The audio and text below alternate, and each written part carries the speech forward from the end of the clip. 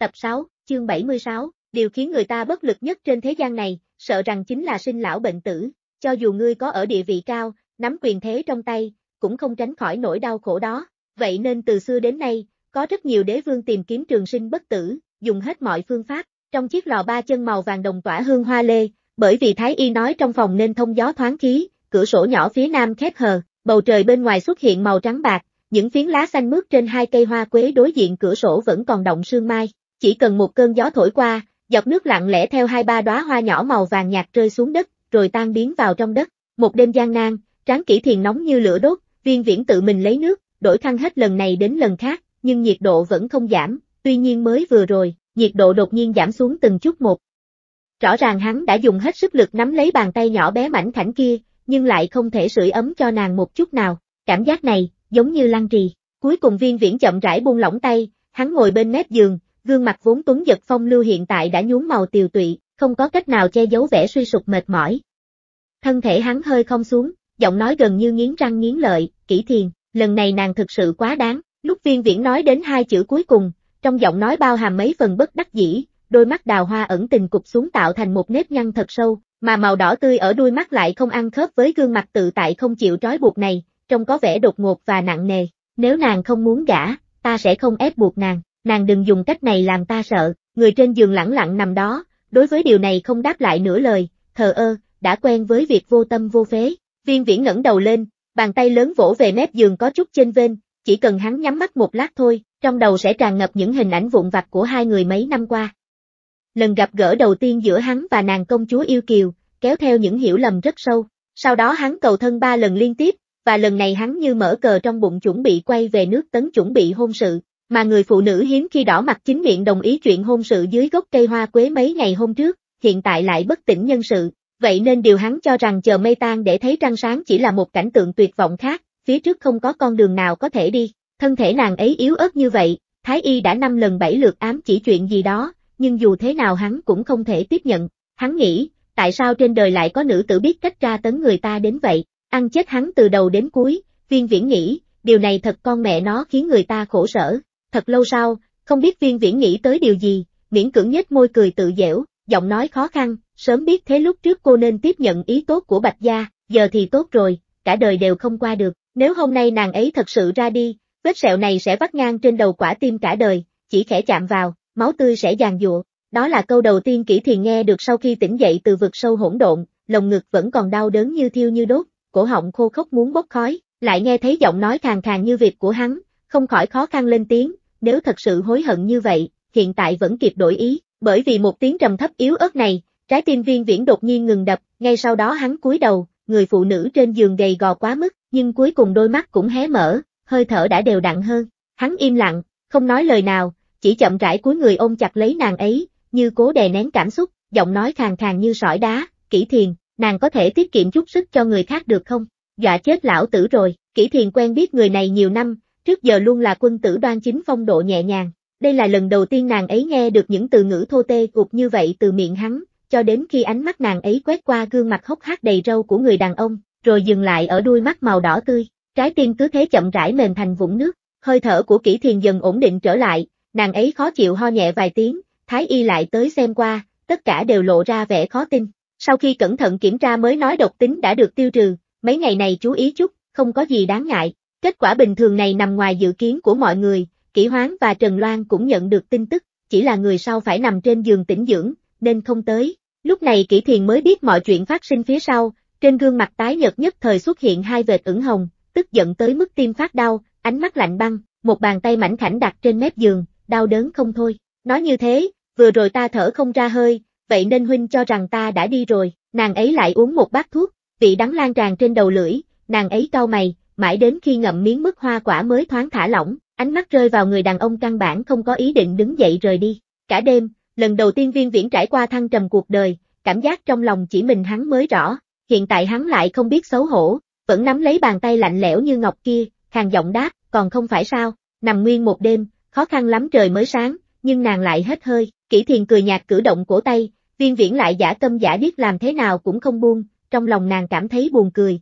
ý vị sâu xa mở miệng, mới vừa rồi huynh còn hối hận, cảm thấy năm đó nên tiếp nhận ý tốt của Bạch Gia, là thật sao, Mí mắt viên viễn đột nhiên nhảy lên, thân thể hơi cứng đờ, sau đó hoàn toàn không thèm để ý miếm môi nói, nếu tiểu cô nương bạch gia sánh đôi với ta, e rằng sẽ sợ chết khiếp, nào có hiểu được lòng ta như thiền nhi, kỹ thiền biết rõ người này quen thể hiện thích phô trương, sau khi uống thuốc, nàng ấy lại bắt đầu mơ màng buồn ngủ, mí mắt chậm rãi cụp xuống, viên viễn sợ nàng ấy lại im hơi lặng tiếng như vừa rồi dọa hắn, thỉnh thoảng ít qua nắng ngón tay xanh mướt như cộng hành, không thì tìm lời nói chuyện, hồi lâu sau, kỹ thiền nhíu mày chịu đựng, giọng nói mang theo vài phần lơ đảng, hôm nay huynh thật sự định ở lại cung của ta, viên viễn từ chối cho ý kiến về việc này, lại vân vê xương ngón tay trắng trong của nàng ấy, một lúc lâu sau mới mở miệng, kỹ thiền, ta vẫn hơi sợ, chi bằng nàng mắng ta vài tiếng đi, tất nhiên hắn không thể ở lâu trong cung điện này, nếu kỹ hoán thật sự tức giận sẽ không ai chịu nổi, nhưng tình huống kỹ thiền như vậy, chỉ cần hắn rời đi một bước đã cảm thấy trong lòng bất an,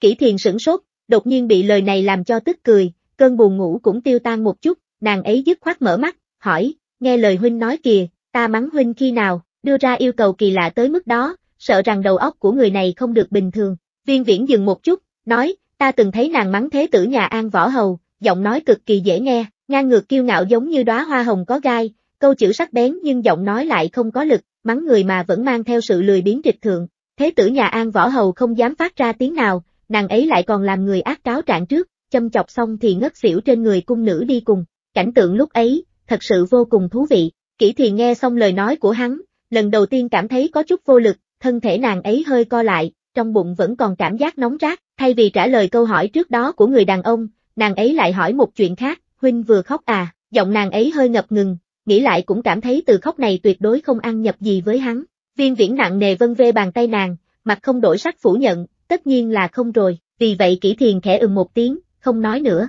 Cung diệu thiền yên tĩnh, thời gian dần trôi, không biết từ khi nào, bức màn xám khổng lồ trên bầu trời bị một đôi bàn tay to lớn xé mở, mặt trời lấp ló phía xa xa. Lúc này kỹ thiền thật sự không chịu nổi nữa đành trở mình, mí mắt cụp xuống, hàng mi công vút rũ dưới mí mắt, rơi xuống gọn gàng như một chiếc quạt nhỏ, không phải huynh đang trên đường về nước sao?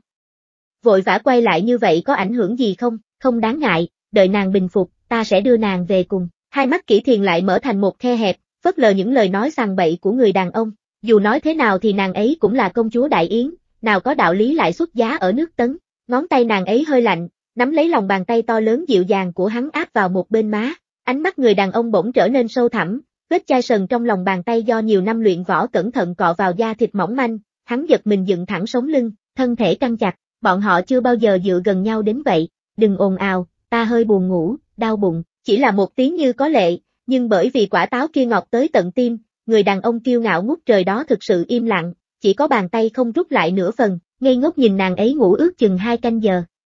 Mãi đến khi mặt trời lên đỉnh, hắn mới nhẹ nhàng đứng dậy đi tới ngự thư phòng. Hồ Nguyên cũng tương đối quen thuộc vị hoàng thái tử này, thấy hắn tới, y không nhanh không chậm tiến lên chào đón, nụ cười thỏa đáng, hoàng thượng đang xử lý chính vụ, thái tử có chuyện gì, lão nô vào trước thông báo một tiếng, viên viễn cười nhạt nhìn y, nhưng cũng thật sự không tiến lên nữa. Người khác không biết quan hệ giữa hai người bọn họ, tuy nhiên Hồ Nguyên lại theo hầu bên người kỹ hoán từ nhỏ, giao thiệp với hắn không ít, từ khi nào hắn đi vào còn cần thông báo.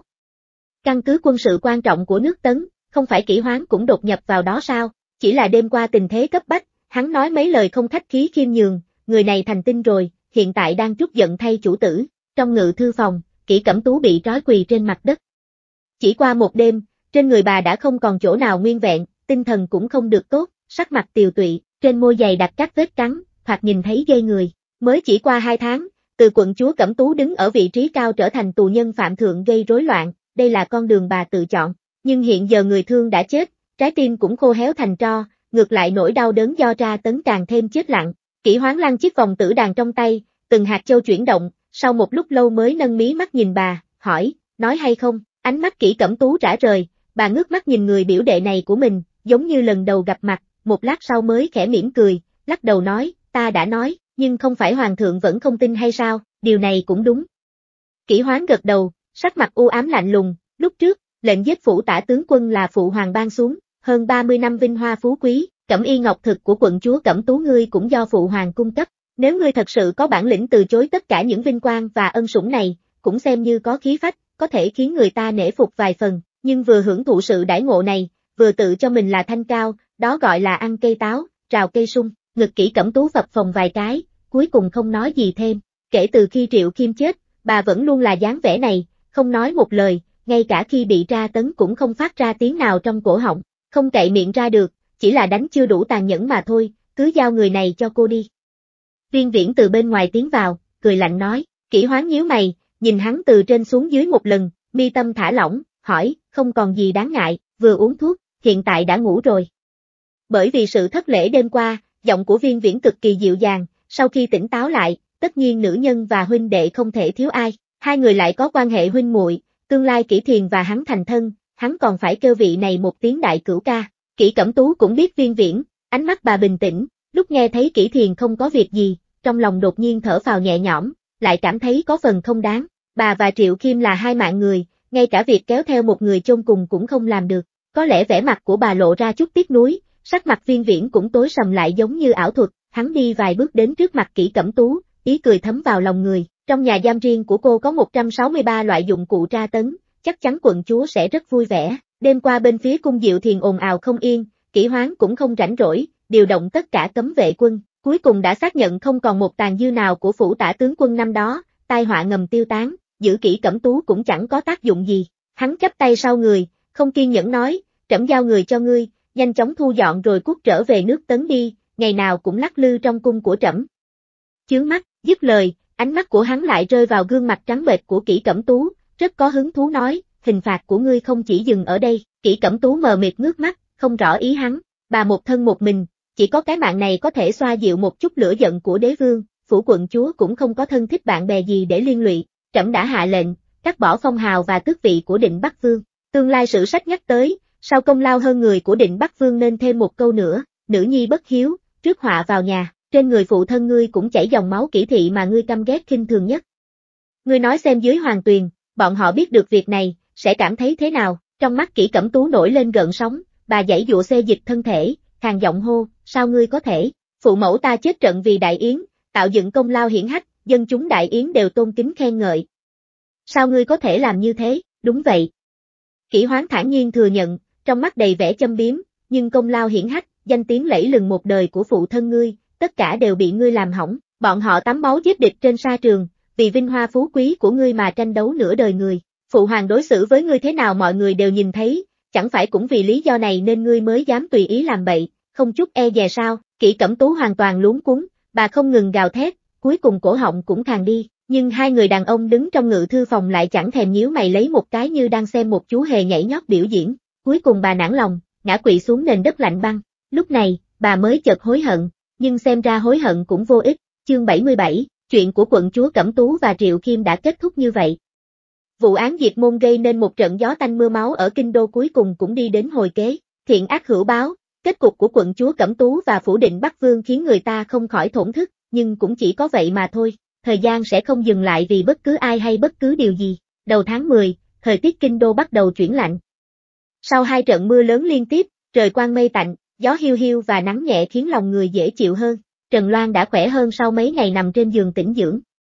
Việc đầu tiên nàng làm sau khi có thể xuống giường là đến cung diệu thiền thăm kỹ thiền. Tình hình của người này cũng không khá hơn nàng bao nhiêu, còn sống đã là may mắn lắm rồi, chính là nhờ những kỳ trân diệu bảo trong cung giữ được một mạng. Sau khi chất độc được đào thải sạch sẽ, thân thể vô cùng suy nhược, mỗi ngày đều không ngừng uống thuốc, mấy ngày sau sức khỏe mới dần dần khôi phục. Ngoài điện xa hoa, trường cột chạm trổ, hương hoa không ngớt, màn trướng mềm mại trong đình nhẹ bay theo gió. Khi Trần Loan đến, Kỷ Thiền đang ngồi trên xích đu ở hành lang hoa tiền sảnh đọc sách, ánh nắng ấm áp chiếu vào một nửa khuôn mặt tinh xảo trong veo như ngọc của nàng ấy, chỉ có dáng người ngày càng mỏng manh gầy yếu, như thể chỉ cần một cơn gió là có thể thổi bay đi mất. Trần Loan bước lên phía trước, chiếc váy màu đỏ hồng nhẹ nhàng uốn lượn, sắc mặt của nàng vẫn còn hơi nhợt nhạt, nhưng tinh thần không tệ, giọng nói đầy lo lắng, Thái y nói có thể xuống giường đi lại rồi sao? Nếu bị trúng gió cơ thể tỷ có chịu được không? Kỷ thiền gấp góc cuốn sách ở trong tay lại làm dấu, nhưng nàng ấy không đứng dậy, mà chỉ vào chỗ bên cạnh và cười nói, hai ngày trước không có sức lực, trời lại mưa liên tục, lạnh đến nỗi đau nhức trong xương. Hiếm khi hôm nay nắng đẹp nên muốn ra ngoài đi dạo. Muội gần đây không đến, ăn trưa xong ta cũng định đi tìm muội. Hai người bọn họ vượt qua kiếp nạn, đều lượn qua cửa Diêm Vương một vòng, khi không gặp nhau thì luôn nhớ nhung, khi gặp rồi thì nhìn nhau cười, những lời muốn nói đều không nói ra. Tất cả đều không cần nói ra, gió thổi qua, những cánh hoa màu tím rơi xuống dưới hành lang, phủ một lớp thật dày trên con đường lát đá xanh. Kỷ thiền cảm thấy nhìn rất đẹp nên không bảo hạ nhân quét dọn. Lúc này một mùi thơm thoang thoảng bay đến, nàng ấy nheo mắt nói, ta đã nghe chuyện của quận chúa Cẩm Tú, chỉ là có chút khác biệt, bình thường ngay cả một con thỏ cũng không dám giết, lại có gan xông vào cung diệu thiền hạ độc, nàng ấy thở dài, giọng nói đột nhiên lạnh lùng, là ta sơ suất kéo muội vào, suýt chút nữa tạo thành sai lầm lớn, nói chuyện này làm gì? Mục đích ban đầu của bà là muội, nếu nói liên lụy, chỉ sợ là muội liên lụy tỷ. Trần Loan ngồi trên ghế đá bọc đệm êm, nắm tay nàng ấy nói, đừng nói những chuyện buồn phiền kia nữa, dù sao đại nạn không chết tất có phúc về sau. Hai chúng ta cao số, có phúc, kỹ thiền nghe nàng nói vậy bật cười, ánh mắt dừng lại trên cái bụng chưa lộ rõ của nàng, ánh mắt dịu dàng, không phải là có phúc sao, ta thấy đại tuyển sắp bắt đầu, đứa trẻ này đến quả thật đúng lúc, nói đến đại tuyển, nụ cười nhẹ trên mặt Trần Loan biến mất, nàng siết chặt chiếc khăn tay trắng như tuyết trong tay, nhíu mày đột nhiên nói, thiền nhi, muội không muốn có người tiến vào hậu cung, nàng dừng lại một chút rồi nói thêm, một người cũng không muốn, như bây giờ là được rồi, Kỷ thiền hơi sửng sốt, hiểu ý của nàng, ánh mắt ảm đạm, hỏi thẳng, những người như chúng ta, có thể quyết định được rất ít chuyện mà chúng ta muốn. Muội, hoàng thượng có biết suy nghĩ này của muội không? Nếu có thể, ai nỡ để nữ tử khác cướp đi trái tim của trượng phu mình chứ? Người này đến người khác đều xinh đẹp như hoa, đàn ông nhìn nhiều bị mê muội, trong lòng nảy sinh chán ghét người cũ cũng là chuyện bình thường. Chỉ là trên đời này có rất ít chuyện 10 phân vẹn 10, hiện đã 10 phần vẹn chính rồi thì không cần phải đeo bám một phần còn lại nữa. Hơn nữa đàn ông ba thê bốn thiếp là chuyện bình thường và đương nhiên. Trần Loan lắc đầu, vẻ mặt phức tạp, nhưng cũng không che giấu điều đó. Trên thực tế, càng gần ngày đại tuyển, trong lòng nàng càng bất an, đặc biệt là hiện tại còn đang mang thai, nàng càng không muốn đẩy người đàn ông đó ra. Muội chưa nói chuyện này với chàng, nhưng chàng đã từng nói với muội một câu. Kỷ Thiền hỏi, nói câu gì? Trần Loan cảm thấy xấu hổ, lại không xác định. Mặc dù ngày đó người đàn ông nói chắc như đinh đóng cột, nhưng lời nói như thế, ai biết được đó có phải là thuận miệng nói ra để dỗ nàng vui vẻ hay không? Nếu như vậy, nàng có thể ôm chặt lời nói này cả đời không buông. Chính là nói trong hậu cung sẽ không có người khác, một người cũng không có. Kỷ thiền chật lưỡi, cảm động nhưng vẫn nhắc nhở, bọn muội là thanh mai trúc mã, hiện tại lại là phu thê. Đệ ấy nói lời như vậy một là để trấn an lòng muội, hai cũng là bởi vì đệ ấy thật lòng yêu muội. Nhưng hậu cung, chỉ cần tiến vào một ngày, dù sao cũng đều không chân thật, cho dù hoàng đế có thể chống lại sự dụ dỗ của những hoa cỏ bên ngoài, các đại thần cũng nhất định không đồng ý. Nếu đệ ấy thất hứa, muội cũng phải kiên nhẫn đừng vì chuyện này mà làm ầm lên. Nếu không sẽ mất thể diện lẫn thân phận, cũng tổn hại đến tình cảm hai người. Kỷ Thiền lo lắng dặn dò, Trần Loan cười cười, cũng ý thức được tâm trạng hôm nay của bản thân không ổn, nàng nhẹ giọng nói, tỷ yên tâm, muội biết rồi, đạo lý thì ai cũng hiểu, chỉ là tiếp nhận có chút khó khăn, cần chút thời gian. Kỷ Thiền thấy nàng lo được lo mất, không khỏi thở dài, nói đến đây, ngày đó ta đã bảo viên viễn đưa ra lý do để cưới hắn, sau đó hắn chỉ nói, những người đàn ông khác có thể cho ta thứ gì, hắn đều có thể cho ta tất cả, nhưng nghĩ kỹ lại, ta vẫn thấy ta thua thiệt. Kinh đô này có biết bao tài tử, tiện tay chọn một người làm phò mã đều tốt hơn gã đi xa, thậm chí ở dị quốc tha hương còn không có người để nói chuyện cùng. Phò mã không được nạp thiếp, nhưng thân phận của hắn dù sao cũng khác biệt, sau này không thể nào cái gì cũng thuận theo ý ta được. Nói lời nói này bày tỏ tâm ý ngược lại coi như là thành khẩn. Nếu thật sự muốn nạp thiếp, há chẳng phải xem ta quá ngu ngốc sao? Mặc dù là oán trách thể hiện sự không hài lòng, nhưng nhìn sắc mặt của nàng ấy, rõ ràng cùng với vị kia tạo thành tổ hợp một người muốn đánh một người muốn chịu đựng, hai người nói chuyện, mặt trời càng lúc càng lên cao. Thân thể kỹ thiền còn chưa hoàn toàn bình phục, một lúc lâu sau nàng ấy đứng dậy trở về nội điện, Trần Loan cũng không ở lâu, xoay người trở về điện dưỡng tâm. Nói tới chuyện này, bây giờ điện dưỡng tâm dường như đã trở thành tẩm cung của nàng. Trước đây nàng lo lắng chuyện ngoài ý muốn bên phía Triệu Kim, vì suy nghĩ cho an toàn của nàng, mới cùng ăn cùng ở trong điện dưỡng tâm với Kỷ hoán. Bây giờ Triệu Kim và quận chúa Cẩm Tú đều đã có báo ứng của riêng bọn họ, nàng vẫn ở trong điện dưỡng tâm là không đúng quy củ. Vì vậy dùng ngọ thiện xong, Trần Loan thu dọn đồ đạc trở về cung Minh Lan. Mặc dù mấy ngày này nàng đến ở điện dưỡng tâm, nhưng mọi thứ trong cung Minh Lan vẫn như cũ, cành hoa quế trong bình đều vẫn còn sương sớm. Tô ma ma bưng thuốc an thai đi vào, thấy nàng lại buồn ngủ, vội vàng nói, nương nương buồn ngủ rồi sao, nhanh uống thuốc rồi nằm xuống nghỉ ngơi thôi, hiện tại người không thể chịu được nửa phần mệt nhọc đâu, suy nghĩ của Tô Ma Ma rất đơn giản cũng rất thực tế. Hiện tại Trần Loan mang thai 2 tháng, còn chưa ổn định, ngày 25 tháng 10 sẽ bắt đầu đại tuyển, vẫn còn một tháng nữa. Ổn định cái thai mới là việc quan trọng, sau tháng 3, không cần phải cẩn thận mọi việc như vậy rồi. Khi trời đã tối, Trần Loan đi tắm, ngồi trên chiếc ghế mềm để Lưu Nguyệt dùng khăn lau từng chút một mái tóc đen nhánh, nhìn vầng trăng khuyết bên ngoài hỏi, Hoàng thượng bây giờ đang ở đâu? hồi bẩm nương nương, vạn tuế gia vẫn còn ở ngự thư phòng, Trần Loan ừ khẽ một tiếng, không nói gì nữa. Mấy ngày nay, kinh đô bề ngoài đã yên bình, nhưng trong tối lại là một trận phong ba, bởi vì nàng, bởi vì Tô Gia. Trong triều nhiều người tài như vậy, sao có thể không hiểu được sự trở về của Tô Gia.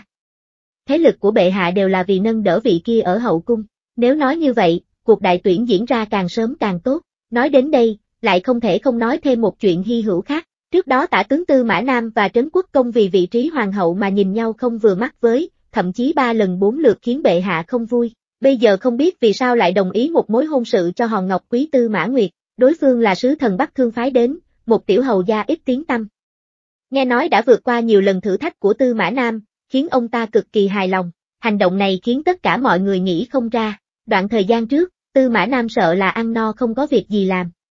Mấy nhà liên lụy thì lại nơm nớp lo lắng không yên ổn. Ngay cả Trần Loan nghe tin cũng không nói nên lời, tìm kỹ hoán hỏi mới biết ngọn nguồn, sau đó không khỏi bật cười, lo lắng vô ích hồi lâu. Nửa đêm, Trần Loan tắt đèn nằm trên giường, trằn trọc ngủ không yên, lăn qua lăn lại nửa mê nửa tỉnh, mãi cho đến khi vị trí bên cạnh lõm xuống, hương thơm trong trẻo của người đàn ông khiến người ta an tâm truyền đến, nàng mới vui vẻ dựa vào, nhẹ nhàng cọ cọ lòng bàn tay hắn. Trong bóng tối, tiếng cười nhỏ của người đàn ông đặc biệt rõ ràng, hắn khẽ thì thầm bên tai nàng hỏi, lần này là nàng nhớ ta hay là hài tử nhớ, lồng ngực của hắn thật tốt.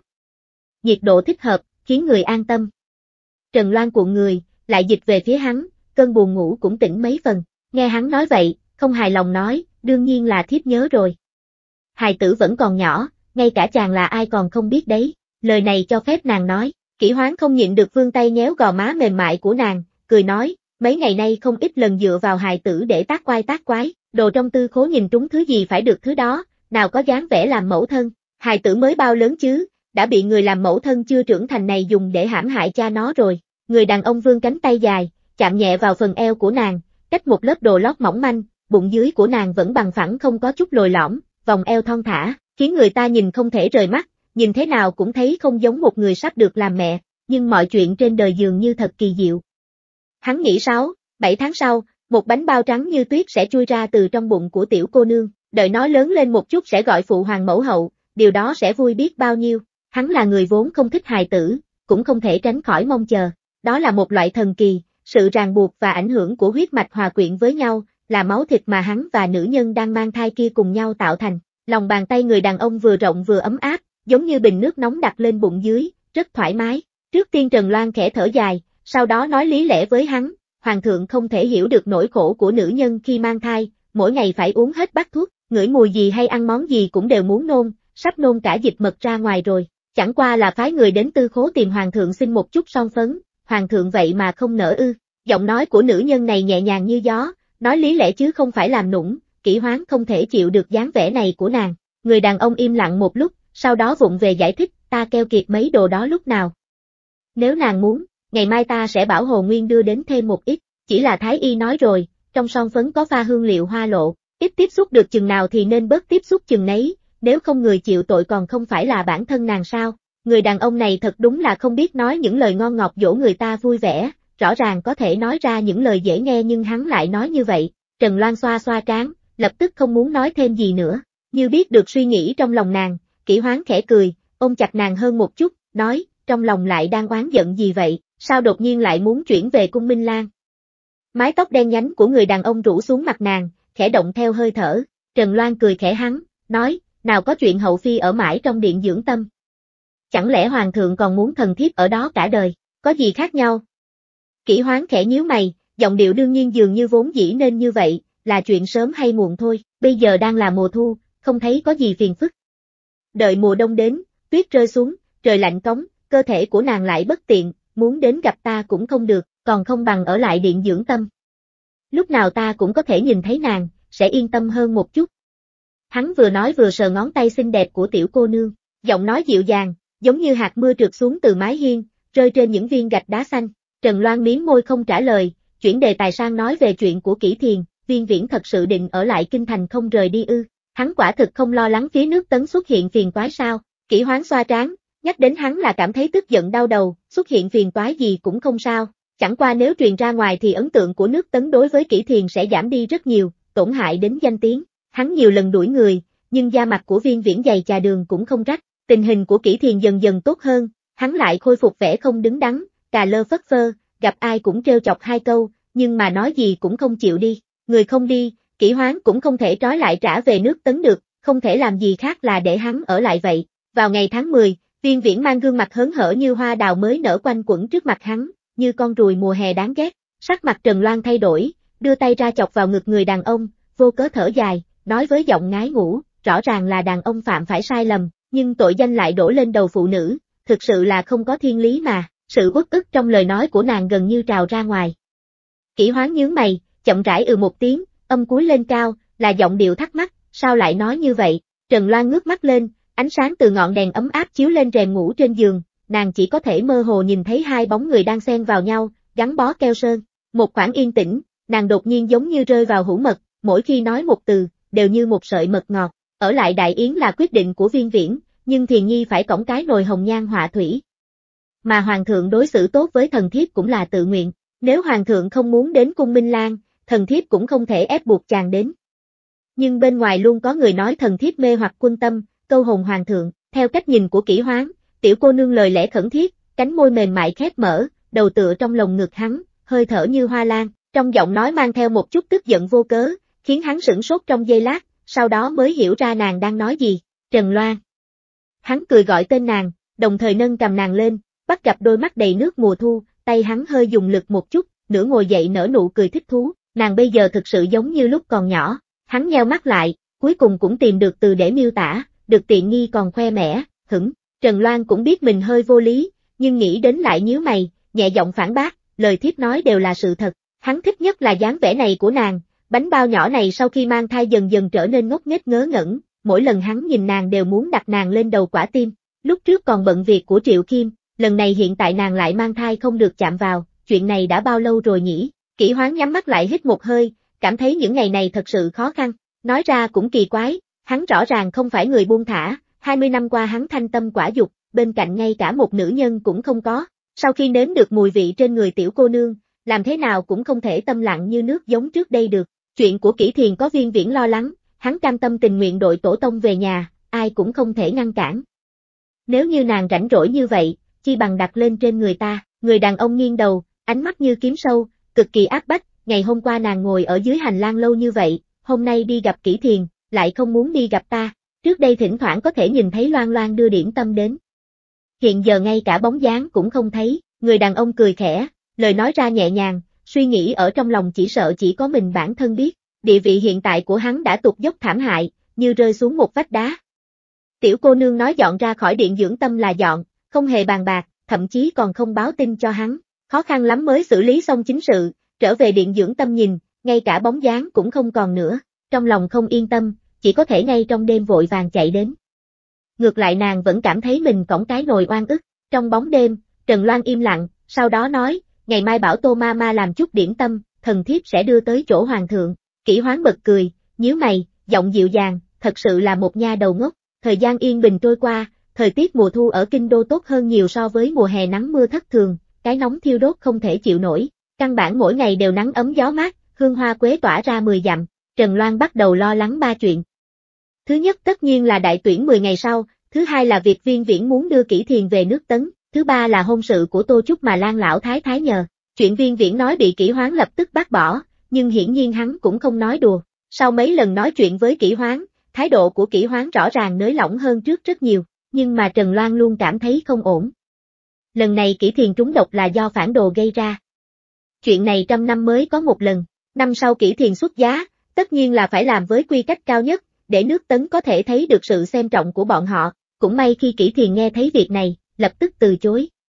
Viên viễn cũng không nhắc lại vấn đề này nữa, thực sự là bị trị đến mức ngoan ngoãn nghe lời. Về phần những gia đình ở Kinh Đô phù hợp với Tô Trúc, Trần Loan thực sự đã tìm được ba bốn nhà, tất cả đều xuất sắc ưu tú, trong nhà sạch sẽ, đối với Tô Trúc mới ra đời không lâu mà nói, rõ ràng lại không quá thích hợp. Nàng liệt kê tình hình của những gia tộc đó thành một danh sách, sai người xuất cung giao tận tay cho người nhà Tô gia, việc tiếp theo nàng không thể can thiệp vào rồi. Hai chuyện này được giải quyết, thì đại tuyển cũng đã đến. Ngày 24 tháng 10, trước đại tuyển một ngày, các tiểu thư ở độ tuổi thích hợp của các phủ các viện ở Kinh Đô đều từ cửa hông tiến cung, xe ngựa nối đuôi nhau như không có điểm cuối. Trần Loan đứng trên tường thành nhìn thấy mà khóe mắt chua xót, mãi đến khi mặt trời lặn, mới để Lưu Nguyệt đỡ nàng trở về cung Minh Lan. Chương 78, vào đêm ngày 24, vầng trăng tròn vành vạnh treo trên bầu trời. Nếu nhìn lâu, sẽ cảm thấy nó sẽ không vững vàng mà như lập tức từ trên trời rơi xuống đầu. Cung Minh Lan đèn đuốc sáng trưng, Trần Loan tắm rửa xong, cả người thoang thoảng hương hoa, ba ngàn sợi tóc đen buông xõa, chỉ đơn giản được cài bằng một chiếc trâm bằng ngọc. Nàng thay một bộ váy dài bằng vải lụa màu đỏ sẫm, nhẹ nhàng mềm mại. Nàng nhắm mắt uống nốt nửa bát thuốc đen như mực, sau đó nhanh chóng nuốt xuống mức nho ngọt ngào, vẻ mặt mệt mỏi. Biết tâm trạng lúc này của nàng không tốt, tất cả người hầu trên dưới trong cung Minh Lan đều nín thở. Tô Ma Ma nghe nói buổi chiều nàng đã đứng trên tường thành một hai canh giờ, sợ nàng tích tụ buồn bực củ rũ, vì vậy bà vội vàng khuyên, nương nương chớ để tâm, ba năm tuyển chọn một lần là quy củ do tổ tiên đặt ra. Đây là lần đầu tiên người thấy, hoàn toàn không cần để trong lòng. Chúng ta phải thuận lợi giữ hài tử trong bụng, người khác chỉ có thể nịnh nọt lấy lòng. Nếu là trước đây, Trần Loan vẫn sẽ mỉm cười trả lời, ít nhiều có thể nghe theo, nhưng sau khi tận mắt nhìn thấy từng chiếc xe ngựa lần lượt tiến vào cung, nàng căn bản không thể thuyết phục được bản thân. Mỗi lần nhớ đến cảnh đó, đầu đau ngực tức không thể tả, giống như ném một người lớn lên trong hũ mật xuống hồ sen, trong lòng Trần Loan hoảng sợ, ngay cả nụ cười gượng gạo cũng lộ ra vẻ chua xót. Mãi cho đến lúc này, Trần Loan mới nhận ra mình đã sống những ngày thần tiên như thế nào sau khi gả cho kỹ hoáng, không cần lo âu, buồn bực bất cứ điều gì, và không cần lo lắng về bất cứ điều gì. Người đàn ông đã sắp xếp mọi thứ ổn thỏa, làm chuyện có thể làm, chuyện không thể làm thì bị phá hỏng. Nàng hoàng hồn từ trong sự hoảng hốt, đầu ngón tay mảnh khảnh dây ấn đường, dặn dò Tô Mama, đem danh sách tuyển chọn lần này đến đây, bổn cung xem một chút. Tô Mama thầm thở dài trong lòng, lại không có cách nào đành phải lấy danh sách ra, đặt vào lòng bàn tay trắng nõn của nữ nhân. Ngoại trừ đích nữ tư mã gia, thiên kim đích nữ của các gia tộc quyền thế vào cung lần này về cơ bản đều là những nhân vật quen thuộc cũng đã từng có giao tiếp trước khi nàng xuất giá.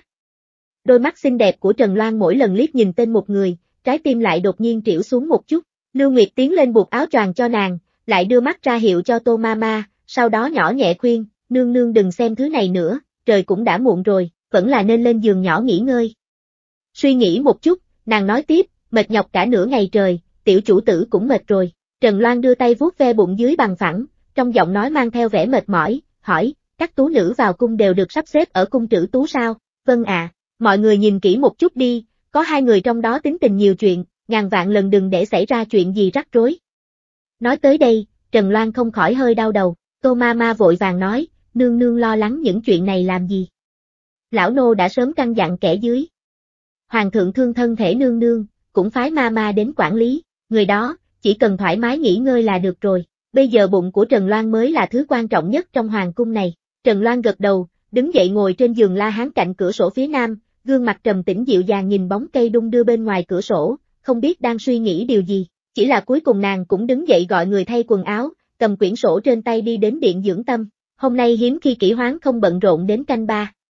Dùng bữa tối xong thì tùy ý tìm một cuốn sách để đọc, từ giờ dậu cho đến canh một, cuốn sách mỏng chỉ mới lật được mấy trang, ngay cả trà cũng đã uống được 5-6 bình rồi. Hồ Nguyên là người đầu tiên cảm thấy không đúng, nhưng lại không có can đảm tiến lên hỏi, trục đầu như rùa, chỉ âm thầm suy đoán trong lòng, hơn nữa lý do là vì cái vị đang ở cung Minh Lan, chỉ là không biết lần này lại chọc chủ tử tức giận cái gì nữa. Lời nói này trong nháy mắt đã được xác thực, người đàn ông nhíu mày ném cuốn sách trong tay sang một bên, lực đạo không nhỏ, hất đổ bình sứ cảnh Thái Lam. Hồ Nguyên nhanh chóng bước lên phía trước đỡ lấy chiếc bình, bình tĩnh hỏi, chủ tử. Ngài, còn chưa nói xong, người đàn ông đã hít mắt nhìn sang, sắc mặt u ám phong ba, ngay cả giọng nói cũng lạnh lùng hơn, đã đưa danh sách tú nữ trong đợt tuyển tú lần này đến cung Minh Lan chưa? Hồ Nguyên im lặng lúc lâu rồi nói, hồi bẩm hoàng thượng, đã sớm đưa qua, tối nay ngài đã hỏi câu này mấy lần rồi, ấn đường kỹ hoán giật giật hai cái, lại hỏi, không phải nói buổi chiều hoàng hậu đi xem các tú nữ tiến cung rồi sao? Hồ Nguyên không biết nguyên do, quan sát sắc mặt người đàn ông, cẩn thận sửa lại, nghe người dưới bẩm báo, hoàng hậu nương nương không đến cung trữ tú gặp các tú nữ, chỉ đứng trên tường thành nhìn một lúc lâu, không nhìn người bên trong. Người đàn ông nằm nghiêng trên chiếc giường chạm trổ, đuôi mắt đào hoa cong cong một đường cong sắc bén, khiến người ta nhìn mà sợ. Hắn vất vất tay, gọi người đến trước mặt, hỏi, hoàng hậu nhìn danh sách có phản ứng thế nào, có không vui? Hay là âm thầm tức giận hay không? Hồ Nguyên nhất thời rối rắm, không biết rốt cuộc chủ tử nhà mình đang suy nghĩ cái gì, hoàng hậu có thể phản ứng thế nào đây? Cho dù trong lòng có khó chịu đến đâu, cũng chỉ có thể rộng lượng tiếp nhận, ngược lại vạn tuế gia, người muốn đáp án như thế nào? Hoàng hậu nương nương tính tình ôn hòa, sau khi xem danh sách, chỉ cười dặn dò Tô Ma Ma giám sát chặt một vài người, đừng để xảy ra chuyện gì. còn về phản ứng, ngược lại không có, phản ứng hết sức bình thường, sắc mặt kỹ hoáng lạnh xuống, hắn nhắm mắt, khớp ngón tay rõ ràng gõ gõ trên mép giường, trong màn đêm yên tĩnh dường như cực kỳ đường đột, một lúc sau, hắn khẽ hừ, tức giận cười, nhưng không thể tránh khỏi phiền muộn, những tú nữ kia đã vào cung rồi, sắp tiến vào hậu cung rồi, nàng còn không vội một chút nào, lại còn cười được, nàng đang nghĩ gì trong đầu vậy, nàng thật sự không sợ hắn lưu luyến trong bụi hoa không quay về sao? Hay là nàng quá tin tưởng hắn, còn hơn tin tưởng vào bản thân mình, nửa đêm vang lên tiếng kêu của loài chim không biết tên. Trong màn đêm như thế, tiếng hoa rơi nghe rõ ràng và dịu dàng, lúc Hồ Nguyên đang rơi vào tình thế khó xử, thì đồ đệ Hồ Thái đi vào hành lễ bẩm báo, Hoàng thượng, Hoàng hậu nương nương đến, người đàn ông đứng dậy, lạnh lùng trong mắt chậm rãi tan thành một vũng nước ấm. Hắn thích ý chật một tiếng, ống tay áo rộng rãi màu xanh khẽ phất một cái, Hồ Thái lui ra ngoài, một mùi hương ngọt ngào không nhanh không chậm tới gần kỹ hoáng giả vờ nhắm mắt lại. Mỗi lần sau khi tiểu cô nương tắm rửa xong, thân thể mềm mại lại càng thêm thơm ngát, thân hình mảnh khảnh như hoa đào đầu xuân nở rộ, mái tóc ống ngược lại có mùi bưởi ngọt ngào. Hắn thường xuyên cảm thấy kỳ lạ, hai mùi hương khác nhau rõ rệt như vậy, không hiểu sao ở trên người nàng lại hòa hợp với nhau kỳ diệu như vậy, hấp dẫn người muốn ngừng mà không được. Bởi vì mang thai, mỗi ngày Tô Mama đều thay đổi cách thức bồi dưỡng thân thể, các loại thuốc bổ đều thay đổi luân phiên nhau, hoặc nhìn thân hình Trần Loan đầy đặn hơn trước đây rất nhiều, gương mặt nhỏ nhắn cũng tròn trịa hơn, cởi ra sự quyến rũ mê người, trở nên đáng yêu hoàn toàn, trông giống như một tiểu cô nương chưa đến tuổi tập kê. Trần Loan đi đến, Hồ Nguyên thức thời lui ra, mặc dù Trần Loan đã chuyển ra khỏi điện dưỡng tâm, nhưng đồ đặt bày biện trong điện vẫn giống hệt như khi nàng còn ở đó, không hề thay đổi, nàng không khỏi sinh ra một loại ảo tưởng, dường như một ngày nào đó, nàng sẽ sống lại trong lăng tẩm đế vương một lần nữa, Hoàng thượng Kim An. Nàng phúc thân một cách tượng trưng, giọng nói dịu dàng, người đàn ông nằm nghiêng trên giường mở mắt ra, cười nhìn nàng vẫy vẫy tay, hỏi, hôm nay hiểu chuyện như vậy, lại nhìn trúng thứ gì rồi, hắn mở rộng vòng tay, Trần Loan tự nhiên ngồi dậy dựa vào người hắn, được hắn ôm vào lòng, hai người dính sát vào nhau, mùi thơm vô thức sộc thẳng vào chóp mũi, người đàn ông khẽ cười thở dài một tiếng, ánh mắt lướt qua danh sách trong tay nàng, trong giọng nói cuối cùng cũng mang theo chút vui sướng, hay là, có chuyện khẩn cầu, Trần Loan nhíu mày, miệng méo xệt, dáng vẻ tuổi thân. Nếu là lúc trước, nhất định sẽ nhìn một cái là yêu thương, 80% đàn ông nhìn thấy đều sẽ mềm lòng, nhưng bây giờ khi nàng nhíu mày, gương mặt nàng biến thành bánh bao, nhìn thế nào cũng thấy dễ thương. Trong khoảng thời gian này, kỹ hoán cực kỳ yêu thích dáng vẻ tuổi thân bám dính của tiểu cô nương, thấy thế nụ cười trên mặt càng trở nên ấm áp hơn. Trần Loan không biết trong lòng hắn đang nghĩ gì, nàng đưa danh sách tú nữ trong tay cho người đàn ông, trong giọng nói không nghe ra cảm xúc gì, chỉ ngập ngừng nói, hôm nay lúc Hồ Nguyên đưa cho thiếp, nói hoàng thượng đã nhìn qua, vậy thần thiếp sẽ không vòng vo nữa, đôi mắt hạnh của nàng đen trắng rõ ràng, tự cho là vô cùng nghiêm túc, nhưng ở trong mắt người đàn ông, lại là vẻ ngây thơ vô tội, hắn khẽ mỉm cười, nhéo lòng bàn tay đầy thịt của nàng, thờ ơ đáp, không sao, nói thẳng đi, hoàng thượng thích người nào trong danh sách này. Có thể nói trước với nô tỳ được không? Tránh việc ngày mai lúc giữ lại thẻ bài, không chú ý để vụt mất, Trần Loan hỏi câu này, hơi thở theo bản năng trở nên nhẹ hơn, tim cũng suýt nữa ngừng đập. Kỷ hoa ngồi thẳng người, đôi mắt u ám khó hiểu, trong khoảng thời gian ngắn không biết nên trả lời vấn đề này như thế nào, chỉ là bị tức giận đến nỗi đầu có chút đau, nghìn mong vạn chờ, một lòng một dạ cho rằng tiểu cô nương đã thông suốt, biết phải bảo vệ chủ quyền. Kết quả khen ngược, đặc biệt chạy tới làm hắn tức giận, Trần Loan thấy hắn một lúc lâu không đáp, không khỏi xê nghi ngờ, đành phải miếm môi nói, nô tỳ cảm thấy lâm tam cô nương và đại cô nương Nguyễn Gia đều thuận mắt, gia thế tướng mạo đều đứng hàng đầu, không biết. Hoàng thượng cảm thấy thế nào, mặc dù nàng đã giả vờ rất tốt, nhưng dù sao vẫn chỉ là một tiểu cô nương, ngây ngô khờ khạo, không giấu được điều gì với vị quân vương đã quen nhìn thấu lòng người. Người đàn ông hài lòng trước lời nói nghĩ một đằng nói một nẻo của tiểu cô nương, ấn đường không một tiếng động giãn ra. Hắn buông bàn tay mềm mại của tiểu cô nương, mở danh sách, tùy ý liếc nhìn, đầu ngón tay tùy ý chỉ vào một vài cái tên ở hàng phía trước, nói, ban ngày ta đã xem vài lần, cảm thấy mấy người ở hàng trước danh sách không tệ, diện mạo cũng xinh đẹp. Vốn sợ Loan Loan sẽ không thích, nhưng bây giờ xem ra ta đã quá lo lắng rồi, Trần Loan hơi ngây ra rồi buồn bã cúi đầu, người này nói cái gì, thật sự quên mất tiêu, chỉ mới bao lâu, ngay cả bức họa tú nữ cũng xem rồi, vậy thì tiếp theo nàng không cần phải nhiều lời rồi, ngón tay của người đàn ông vẫn lạnh như sắt. Hắn nắm cầm Trần Loan, ép nàng phải ngước mắt lên đối diện nhìn hắn, lúc nhìn thấy những giọt nước mắt, trái tim như ngừng đập, gần như lập tức thấy hối hận, tiểu cô nương đang trong thời kỳ nhạy cảm suy nghĩ nhiều, hắn không nên trêu chọc nàng như vậy. Nghĩ thế, hắn cảm thấy những lời nói của nãy của bản thân quá tổn thương người rồi, chương 79, sao lại tuổi thân vậy? nhìn không biết còn tưởng trẫm bắt nạt nàng. Ngón tay kỹ hoáng lạnh lẽo, hắn vuốt nhẹ đuôi mắt nàng, Trần Loan bị nhiệt độ làm cho hoàng hồn, nàng lập tức lắc đầu cười, nói nhỏ, chỉ hơi mệt mỏi, bình thường vào lúc này mí mắt không mở ra nổi rồi. Kỹ hoáng khẽ chật một tiếng, nhướng mi, đột nhiên lộ vẻ uy nghiêm, trầm giọng nói, sau khi mang thai hài tử, ngay cả lời nói cũng không thành thật rồi. Từ sau khi Trần Loan tìm được đường sống trong tay quận chúa Cẩm Tú, hai người tâm ý tương thông, vô cùng ngọt ngào cuốn quýt bên nhau. Người đàn ông dỗ nàng treo chọc nàng, hoàn toàn không có dáng vẻ và tính tình của bậc đế vương. Trần Loan cho rằng cuộc sống sẽ mãi tiếp tục trôi qua như vậy, nhưng nàng chưa bao giờ nhận ra rõ ràng, tình cảm và nhẫn nại mà hắn dành cho nàng ngày hôm nay, tương lai cũng sẽ được trao cho những nữ tử khác. Nàng miếm môi xuống, dùng sức chớp mắt gạt đi những giọt nước mắt, nói, không nói dối, nếu trong lòng hoàng thượng đã chọn được người, vậy thần thiếp sẽ dùng bút khoanh tròn những người này, ngày mai giữ lại.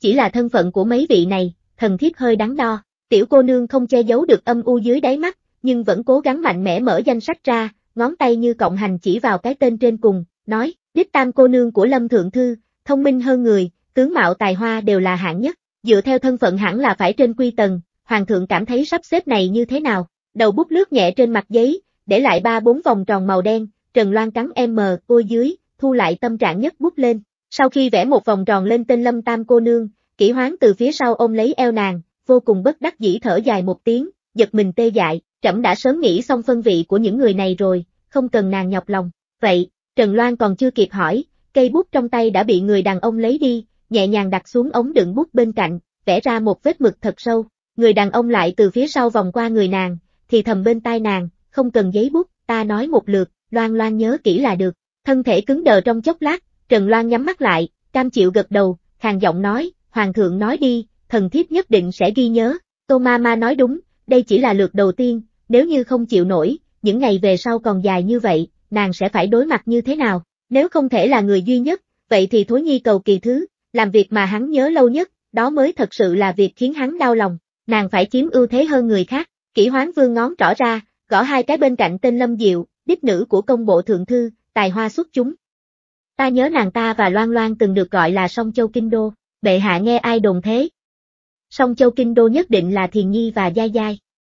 Cho dù là thân thế hay tài hoa mỹ mạo, Lâm Diệu cũng đều kém hơn một chút. Trần Loan nói thật, nghe vậy, kỷ hoán cười khẽ liếc mắt nhìn nàng một cái, chậm rãi nói, chật, vậy thì ban ân điển, tứ hôn cho viễn quận vương. Làm quận vương phi cũng không tính là uất ức lâm gia, Trần Loan kinh ngạc ngẩng đầu lên, lại đụng phải hàm dưới rắn chắc của người đàn ông, giống như đụng phải tường đồng vách sắt, đau đến nàng lập tức ôm đầu cúi xuống, khẽ rên một tiếng, một cảm giác chua xót sộc thẳng lên mũi, nàng suýt chút nữa bật khóc, nhưng vẫn nhịn được, kỹ hoán nhíu mày, kéo tiểu nhân nhi đứng lên, đụng ở đâu, Trần Loan lắc đầu, đôi mắt hạnh rưng rưng, chóp mũi ửng đỏ. Nàng ngây ngốc lắc đầu, sau đó vùi đầu vào lồng ngực người đàn ông, thấp giọng hỏi, sao lại là quận Vương Phi, kỹ hoán kéo nàng ra ngoài, trên trán tiểu cô nương đỏ một mảng, còn lại đều không sao, hắn nhíu mày xoa xoa trán nàng, động tác cực kỳ dịu dàng, giọng nói lại có chút không vui, nếu không phải thế nào. Thật sự để nàng ta làm phi tần của trẫm, miệng đều đã vểnh lên tận trời rồi, Loan Loan thật sự vui vẻ với sắp xếp này, Trần Loan lập tức im bặt, nàng tất nhiên là không vui rồi, nếu vui vẻ, nàng đã không phiền muộn nhiều ngày như vậy, kỹ hoán xoa xoa mái tóc của nàng, nói, Tông Thị và các thế gia khác ở Kinh Đô còn có rất nhiều đệ tử chưa lập gia đình, ngày mai trẫm sẽ thông báo tin tức nàng mang thai hài tử, hoàng gia có hỷ, trẫm vô cùng vui mừng, hạ thánh chỉ tứ hôn. Mặc dù mấy lão già kia có ý kiến, nhưng cũng không làm được gì, hắn đăng cơ đã hơn nửa năm, triều cục cực kỳ ổn định, thiên hạ Thái Bình, nắm quyền lớn trong tay. Mặc dù xương đế còn một số việc làm chưa tới nơi tới chốn, nhưng quả thật đã giao một đời thịnh thế cho hắn, chỉ cần hắn dốc sức vì nước một vài năm, là ổn định ngăn chặn được hai nước còn lại. Hắn không phải là con rối mặt cho đám triều thần thao túng, lời nói của hắn tức là thánh chỉ tối cao. Trần Loan buồn cười, vẻ mặt phức tạp, nửa ngày không lên tiếng, gương mặt nhăn lại thành cái bánh bao. Hoàng thượng. Trần Loan nắm lấy góc áo bào của hắn, ngẩng đầu nhìn hàm dưới cương nghị, trong lòng tựa như bị một cái búa nhỏ gõ vào, tuôn trào mật ngọt, lại cảm thấy đoạn thời gian này bản thân mình thận trọng thăm dò ngu ngốc một cách thừa thải, tâm tư nhỏ của nàng nhất định là không thể gạt được. Kỷ hoán có thể đoán được vào giờ phút này tiểu lừa đảo kia đang suy nghĩ gì, hắn không nhịn được vươn tay ra nhéo da thịt mềm mại trên mặt nàng, dịu dàng cười nói, không giữ lời hứa, còn sắp xếp thay trẫm nhìn phi tần, thành thật mà nói người tiến vào được hay không tùy thuộc vào suy nghĩ của nàng, còn không biết có đủ người tính toán không nữa. Trần Loan kìm nén một lúc, thỉnh thoảng liếc mắt nhìn hắn một cái, dứt khoát nhận sai, thiếp cho rằng tối đó tâm trạng của chàng tốt, nên nói lời dỗ dành thiếp, nàng nuốt nước miếng, quay đầu nở nụ cười thoải mái, là thiếp suy nghĩ nhiều rồi, kỹ hoán nhìn gương mặt nhỏ nhắn đầy thịt của nàng, vẫn là bất đắc dĩ, nếu người khác được quân vương hứa hẹn, không biết sẽ vui mừng ra sao, nhưng nàng thì ngược lại, đều cảm thấy hắn đang nói đùa mà thôi, loan loan. Kỷ hoán nghiêm mặt nói, nàng trước là thê tử ta cưới hỏi đàng hoàng, sau mới là người đại yến. Nếu lúc hai thân phận xung đột khiến nàng tiến thoái lưỡng nan, ta hy vọng nàng có thể làm việc theo ý của mình, lấy nàng, vốn không phải để cho nàng chịu uất ức đau khổ. Nếu không thân phận hoàng hậu tối cao của nàng sẽ hoàn toàn trở thành chuyện cười. Giọng nói của người đàn ông không lớn, hòa vào màn đêm cùng gió mát, giống như những hạt cát thô to, khiến khóe mắt Trần Loan ê ẩm. Từ khi mang thai, nước mắt nàng dường như tuôn rơi không ngừng. Một vài câu nói bình thường, vui hay buồn đều cũng có thể khơi dậy cảm xúc của nàng. Có khi chỉ là một câu chuyện nhỏ trong thoại bản, nàng đọc liền âm thầm rơi lệ, cho đến khi mặt trăng treo trên bầu trời cũng không ngủ được, thật đúng là đa sầu đa cảm. Lần này nàng không rơi những hạt đậu vàng nữa, mà là hai mắt đẫm lệ vùi đầu vào áo bào màu xanh của người đàn ông, mang theo vài tiếng khóc vụn vặt, mềm mại đáp, ừng lần này thiếp sẽ nhớ kỹ, kỹ hoán ôm người lên giường trong nội sảnh, tự mình giúp nàng tháo tóc, chiếc trâm ngọc xoay vài vòng trên ngón tay người đàn ông, ánh mắt của hắn rơi vào thân hình mang thai uyển chuyển dưới lớp vải y phục mỏng manh. Ánh mắt hắn dần tối lại, yết hầu trượt lên xuống, hắn đã sắp thành hòa thượng trong chùa rồi, ánh mắt kỹ hoán chuyển qua gương mặt mơ hồ của tiểu cô nương, sau đó một đường đi xuống, dừng lại ở bụng dưới bằng phẳng, nhắm mắt lại dập tắt ngọn lửa bản năng, sau khi Trần Loan ổn định lại tinh thần, cơn buồn ngủ cũng dần dần kéo đến. Nàng giống như một viên kẹo dính người, vội vàng ôm eo người đàn ông không buông. Sau khi kỹ hoán nhắm mắt không lâu, tiểu cô nương đứng dậy, sau đó dịu dàng như chuồn chuồn lướt nước chạm trán của hắn, nhỏ nhẹ hứa hẹn, thiếp nhất định sẽ đối xử tốt với chàng. Thái độ của người đàn ông không thể nghi ngờ chính là liều thuốc tốt nhất, nàng không còn hoảng sợ, không còn nghi ngờ, giống như mặc bộ áo giáp cứng rắn nhất, nắm tay hắn đi hết quãng đường, hoàn toàn không lo âu. Tiểu cô nương rón rén nằm xuống, cuộn mình thành một quả bóng nhỏ chui vào trong lòng hắn. Một lúc sau hô hấp của nàng đều đều, cơ thể cũng thả lỏng, trong bóng tối, người đàn ông cong môi, tìm kiếm ngón tay út không xương của nàng, móc ngoéo rồi nhắm mắt lại, hắn biết nàng đã trải qua những gì ở kiếp trước, kiếp này hắn chính là người có thể đồng cảm với nàng nhất, chính vì những chuyện đã qua đó, mà Trần Loan vốn không biết sợ hãi là gì đã rèn dũa nên tính tình thận trọng, nàng nhìn trước ngó sau, cẩn thận từng bước, bởi vì nàng sợ lại diễn ra kết cục như kiếp trước, cho nên hắn thích tính tình, dáng vẻ lanh lợi hoạt bát của nàng, bởi vì lúc này hắn mới có thể nhìn thấy bóng dáng của tiểu cô nương mấy năm trước, đơn thuần sạch sẽ, không biết trời cao đất rộng. Mặc dù lúc đó hắn tầm thường, nhưng có nàng ở bên cạnh cười vô tâm vô phế, cũng là năm tháng yên ả tốt đẹp rồi. Hắn đã từng mất nàng, nay hắn muốn tìm lại, vì thế cho dù nghèo đói nửa đời người, cũng không thể từ bỏ được. Giống như viên viễn ngày đó nổi điên nói, tất cả đồ vật mà đàn ông bình thường có thể cho, hắn có gì không có. Sáng ngày 25 tháng 10, mặt trời ấm áp rực rỡ trên bầu trời, là một ngày trời đẹp hiếm có, nhưng sáng sớm trời se lạnh, Trần Loan từ trong chăn ấm mở mắt ra, nhìn sắc trời rồi lại nằm xuống, bồ đào rất bất đắc dĩ. Chủ nhân của nàng ngủ càng ngày càng nhiều, nhưng hoàng thượng đều không để ý, bình thường thì không sao, nhưng hôm nay là ngày trọng đại, hoàng hậu nhất định phải đích thân đến, nếu để tất cả tú nữ phơi nắng, bỏ lỡ canh giờ tuyển tú thì thật không tốt, vì vậy đành phải tiến lên nhẹ nhàng vén màn ngủ lên, dịu dàng khuyên nhủ, nương nương nhanh dậy đi, lát nữa thay quần áo trang điểm phải mất một khoảng thời gian nữa, sẽ muộn mất, lần này Trần Loan phối hợp rất nhanh, hiển nhiên dễ thấy tâm trạng của nàng rất tốt, thậm chí còn chọn chiếc vòng ngọc dương chi yêu thích nhất mang vào, nhưng lại khiến cô Mama lo lắng, một bụng lời khuyên nhủ đều thối rửa trong bụng rồi, vị này sao lại nghĩ thông rồi, mặt trời lên cao, Trần Loan ngồi bộ liễn đến cung trữ tú. Vì là tiểu tuyển ở Kinh Đô, nên đương nhiên số nữ tử vào cung nhiều hơn so với đại tuyển, cho nên ba người một nhóm cùng nhau vào điện, kỹ hoán vẫn chưa đến, Trần Loan đã liên tục bỏ qua ba bốn nhóm, không giữ lại thẻ bài của người nào, ngay cả nói cũng không nói một câu, tình trạng này kéo dài một lúc, ánh mắt của mọi người nhìn nàng đều thay đổi, dân gian đồn hoàng hậu ghen tuông, hiện tại hậu cung chỉ có duy nhất một mình nàng.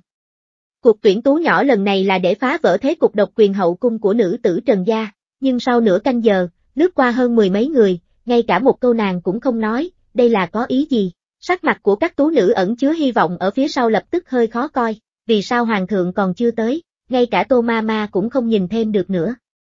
Lúc Trần Loan lại một lần nữa nhấp một ngụm trà thì chạy đến phía sau nàng, mắt nhìn thẳng nhỏ giọng nói, nương nương, đã qua non nửa số người rồi, nên chọn một vài người, ngài làm dáng một chút cũng được mà. Trần Loan ngước mắt lên, vừa định nói chuyện thì nghe thấy một tiếng the thế, góc áo màu vàng càng đi càng gần, dưới ánh mặt trời nhạt dần, cuối cùng đứng ở bên cạnh nàng, Trần Loan thu tầm mắt công môi, cùng mọi người hành lễ, Hoàng thượng Kim An. Dưới ánh mắt của mọi người, nàng chỉ mới hành nửa lễ đã được người đàn ông tự mình đỡ dậy, đều đứng lên hết đi. Mấy tú nữ đứng dậy, đều nhao nhao lén liếc nhìn người đàn ông anh Tuấn dị thường trên ghế cao, chỉ vừa nhìn, tim đập thình thịch không ngừng. Người đàn ông như vậy, ai mà không yêu. Kỷ hoán tùy ý liếc mắt nhìn xuống, lại thờ ơ lướt qua gương mặt của tiểu cô nương, ánh mắt trở nên dịu dàng, thấp giọng hỏi, vui sao? Trần Loan miếm môi cười, không chút do dự gật đầu, cố gắng đè thấp giọng nói, vui. Kỷ hoán nhướng mày, khóe miệng cong lên. Hai vị này thì thầm như thể xung quanh không có ai khác, gạt đám tiểu thư quý nữ nũng nịu phía dưới sang một bên. Vì vậy Hồ Nguyên giả ho khan một tiếng, cuối người nói, vạn tuế gia, nương nương, còn tiếp tục tuyển tú chứ, kỹ hoán gật đầu. Thân phận của các tú nữ nhóm tiếp theo không thấp, hắn tùy ý chọn một người trong đó, lại thêm ba vị tiểu thư lâm gia, thư gia, nguyễn gia. Hơn nửa ngày sau, thẻ bài giữ lại tầm 10 cái. Những gia đình đó còn chưa kịp mở tiệc vui vẻ ăn mừng một phen, thì nhận được tin tức, nữ nhi của bọn họ căn bản không phải tiến vào hậu cung. Đợt tuyển tú này căn bản chỉ là một trò hề, hoàng đế đích thân ban hôn, hạ mười đạo thánh chỉ. Trong mắt người ngoài, đối tượng tứ hôn đều là nhân vật hiển quý, mặc dù đều là đệ tử dòng họ hoàng thất, không có thực quyền, nhưng cũng xem như là thân phận hiển hách. Nhà gái tuyệt đối không quốc ức, nhưng những cao môn quý tộc đưa đích nữ vào cung đều nghẹn một hơi tức giận, trong nhà ồn ào không tưởng tượng được, không có thực quyền, ở trong kinh đô này chính là cái vỏ rỗng, có tên tuổi thì tính là gì? Hoàng đế thực sự sắp đặt tất cả mọi người, thánh chỉ hạ xuống, không phải là thương lượng, mà là mệnh lệnh, với bộ xương già của bọn họ, chẳng lẽ thật sự muốn bọn họ quỳ ở điện Kim Loan ba ngày ba đêm không đứng dậy, ép hoàng thượng thu hồi 10 đạo thánh chỉ, uy nghiêm, mặt mũi của hoàng đế vứt ở đâu? Những đệ tử quý tộc bị chỉ hôn kia chẳng lẽ có thể trơ mắt nhìn chuyện như vậy xảy ra, đây là làm nhục ai, cho nên chỉ có thể cắn răng nuốt máu, im lặng không tiếng động tiếp nhận thánh chỉ của hoàng thượng, tiếp chỉ không nói gì, còn phải cực kỳ cung kính nữa. Sáng sớm ngày hôm sau, quần thần giận dữ, là cảnh náo nhiệt hiếm thấy, giận dữ thì giận dữ, nhưng trong khoảng thời gian ngắn, không có thần tử nào nhắc đến chuyện tuyển tú, tin hoàng hậu mang thai được lan truyền nhanh chóng. Tô Kỳ từ quan đã lâu trở lại triều đình, vừa về đã được phục chức, ngay cả hai nhi tử Tô Gia cũng đều tiến vào quan trường, mặc dù đảm nhiệm chức quan không quan trọng, nhưng cũng đủ khiến người khác cảm thấy đây là chuyện không tốt, đây không khác gì truyền đến tin tức, hoàng đế vì hoàng hậu, mà trọng dụng Tô Gia. Nếu như vậy, đứa bé trong bụng Trần Hoàng hậu sinh ra, chỉ cần là con trai, hơn nửa phần ôm ngôi vị thái tử, nữ nhân Trần Gia, thật là tốt số, trong bầu không khí như vậy, Tư Mã Gia là an tĩnh nhất. Tư Mã Nam rất hài lòng với nữ tế mới của mình, lúc thượng triều đều mặt mày hồng hào, trong tối ngoài sáng giúp hoàng đế giải quyết mấy chuyện rắc rối, đây là đang bày tỏ hối lỗi lấy lòng những chuyện đã qua. Chương 80, ngày tháng an nhàn trôi rất nhanh, thời gian thấm thoát, nhoáng một cái đã hai tháng trôi qua. Ngày cuối cùng của năm nay chào đón trận tuyết lớn đầu tiên, coi như là vẽ lên một dấu chấm tròn hoàn hảo cho năm cũ. Chỉ võn vẹn trong một đêm, hoàng cung đã trở thành một thế giới được bọc trong một lớp hóa trang màu trắng, bông tuyết bay phấp phới, mãi đến giữa trưa cũng không có xu hướng rơi chậm lại. Từ xa nhìn lại, tường đỏ mái xanh xung quanh đều biến mất trong tuyết, dưới mái hiên còn treo một vài cột băng dài sắc nhọn. Cung nữ và thái giám đi lại bị gió lạnh thổi đau cả mặt, mỗi bước đi đều phải cẩn thận từng ly từng tí. Điện dưỡng tâm, Trần Loan đang đối diện với khung cửa sổ mở phân nửa, gió lạnh thổi vào mặt, tóc hai nhanh chóng bị gió thổi làm cho ướt đẫm, từng sợi tóc dính vào mặt, có lẽ mặt nhiều nên nàng không cảm thấy lạnh. Lưu Nguyệt từ bên ngoài hành lang bước vào, trong tay cầm một nắm hoa mơ. Hoa đó ở trong tuyết đỏ đến chói mắt, đặc biệt nổi bật, nàng phủi tuyết trên người mới vén rèm đi vào, vừa cười vừa nói, thật là trùng hợp, tuyết mới rơi một đêm, hoa mơ ở sân sau đều nở toàn bộ. Lúc nô tỳ đi hái cành hoa mơ thì gặp người hầu hạ bên cạnh tam công chúa. Trần Loan xoay người lại, bình nước nóng trong tay vừa vặn che lại phần bụng hơi gồ lên. Nàng liếc nhìn hoa mơ được Lưu Nguyệt cắm vào trong bình, lắc đầu cười phá lên, nói, tam công chúa của chúng ta yêu thích những thứ này. Lát nữa sai người mang một vài vò rượu mơ qua, tỷ ấy thèm đã lâu rồi. Bởi vì căn bệnh rung tay quái lạ của kỹ thiền, non nửa năm nay nàng ấy phải kiêng rất nhiều thứ. Rất nhiều thứ yêu thích đều không thể động vào. May mà mấy ngày trước Thái Y đến bẩm báo, nói bệnh của nàng ấy đã tốt hơn rất nhiều rồi. Lúc này Trần Loan mới dám đưa rượu đến cung tặng nàng ấy. Nói xong, nàng lại buồn bã thở dài, nhìn bầu trời xám xịt vẫn còn đang rơi tuyết, đầu ngón tay trắng nhạt chỉ vào giấy cắt hoa màu đỏ vui mừng, nói khẽ, chờ hết năm này, muốn gặp tỷ ấy không biết phải đến lúc nào nữa, vừa qua nguyên tiêu, kỹ thiền sẽ gả đến nước tấn. Mặc dù viên viễn là một chốn tốt để gả, nhưng lại ở dị quốc tha hương, cách nhau muôn trùng núi sông, thân phận của hai người lại đặc biệt như vậy, lần này từ biệt nghĩa là rất nhiều năm. Tô ma ma mỉm cười tiến lên đỡ người đến ghế nói, nương nương không thể nghĩ như vậy. Tam công chúa chứ không phải quả hồng mềm mặt người nắng, NB khóc, hoàng thái tử nước tấn lại là người chu đáo, mệnh phú quý trời sinh như vậy, nương nương nên vui mừng thay cho công chúa. Đương nhiên Trần Loan hiểu được điều này, nàng cười gật đầu, đặt bình nước nóng trong tay xuống, hỏi, hiện tại vạn tuế gia đang ở đâu? Khi nghe điều này, Tô Ma Ma, Lưu Nguyệt và Bồ Đào đều hiểu ý cười. Nương nương đây là đang nhớ bệ hạ, một buổi sáng mà hỏi mấy lần rồi. Giọng nói của Bồ Đào trong trẻo, Hoàng thượng đang ở ngự thư phòng. Trần Loan chống người đứng lên, cũng cười nói, đi lấy quần áo ấm, bổn cung đi nhìn một chút. Kể từ sau chuyện làm mình làm mẩy từ việc chọn lựa cỏn con, Trần Loan cực kỳ dính kỹ hoán, hoặc cũng có thể là liên quan đến cái thai. Hiện tại trong ngoài cung đều biết, đế hậu gắn bó như keo sơn, vô cùng cuốn quyết. Tô Ma Ma vừa cười vừa thở dài, dìu Trần Loan đi ra ngoài. Vừa mới vén rèm châu ra hai bên, thì đụng phải kỷ hoáng và kỷ thiền cùng nhau đi đến. Một năm này có Trần Loan ở giữa điều hòa, quan hệ tỷ đệ tốt hơn rất nhiều so với trước đây. Tính tình kỷ hoáng vẫn lạnh lùng như cũ, nhưng cũng có thể nghe theo lời của kỷ thiền, sau đó sẽ đáp lại, Loan Nhi, muội định đi tìm hoàng thượng à. Kỷ thiền nhìn Trần Loan từ trên xuống dưới, rồi trừng mắt nhìn kỷ hoáng. Trần Loan mặt không đỏ tim không đập mở miệng nói, lúc nãy mới sai người đưa mấy vò rượu mơ qua cho tỷ, nghĩ ngợi lại sợ tỷ tham ăn, mới chuẩn bị đi qua xem một chút, vậy mà tỷ và hoàng thượng lại đến đây rồi. Đối diện với ánh mắt cười như không cười của đế vương, da mặt tô ma ma rung lên, khả năng nói ra ngoài miệng của nương nương giờ đã tiến bộ hơn, bà không thể theo kịp nhịp điệu, kỹ thiền đến không lâu thì rời đi. Người hầu hạ trong nội điện đều cực kỳ có ánh mắt lui xuống, Trần Loan đi một cách tự nhiên cởi chiếc áo choàng màu tuyết trên người kỹ hoáng xuống. Vì vậy kỹ hoáng nhẹ nhàng ôm lấy nàng, nửa ngày mới buông ra, bên ngoài trời lạnh, lần sau muốn gặp trẫm thì sai người đến truyền lời, băng tuyết phủ khắp cũng không sợ té, nào có chuyện được nuông chiều như vậy. Thái y cũng nói nên đi ra ngoài nhiều một chút, sau này mới dễ sinh, quả thật trên người tiểu cô nương mang đến một mùi sữa, bụng càng lớn càng lộ ra rõ ràng, giấu cũng không giấu được. Đặc biệt là ban đêm đi ngủ, có thể ép người phát điên. Kỷ hoán bình tĩnh vuốt ve gương mặt nhỏ nhắn đã tròn trịa mềm mại lên của tiểu cô nương, vui vẻ cười, hôm nay mới có tuyết rơi, trên mặt đất còn kết băng, rất trơn trượt, trẫm lo lắng nàng không chịu ngồi yên mới đi qua đây nhìn một chút, sau khi ăn trưa xong, Trần Loan có thói quen nghỉ ngơi. Kỷ hoán cũng không thay quần áo mà nằm xuống với nàng, bên ngoài băng tuyết ngập trời, nhưng bên trong nội điện lại ấm áp như ngày xuân. Hai người thân mật khắng khít, dựa sát vào nhau nói rất nhiều chuyện, nói rồi lại nói, chủ đề đã đi chệch hướng. Lúc Trần Loan nhận ra được có điều gì đó không đúng, quần áo đã bị cởi ra một nửa, lòng bàn tay của người đàn ông giống như sắt, mang theo nhiệt độ có thể làm người ta tan chảy, nàng hơi co người lại, cuối cùng vẫn bị bắt lại ở trong chăn. Nàng cẩn thận bảo vệ bụng, lập tức thay đổi thành dáng vẻ điềm đạm đáng yêu, có lẽ bởi vì lúc nãy cố gắng trốn tránh, trên trán nàng khẽ đổ mồ hôi, hai gò má ửng đỏ giống như say rượu, trong đôi mắt hạnh hiện lên sương mù mờ mịt, vừa xấu hổ vừa tức giận, không được, thần thiếp còn đang mang thai.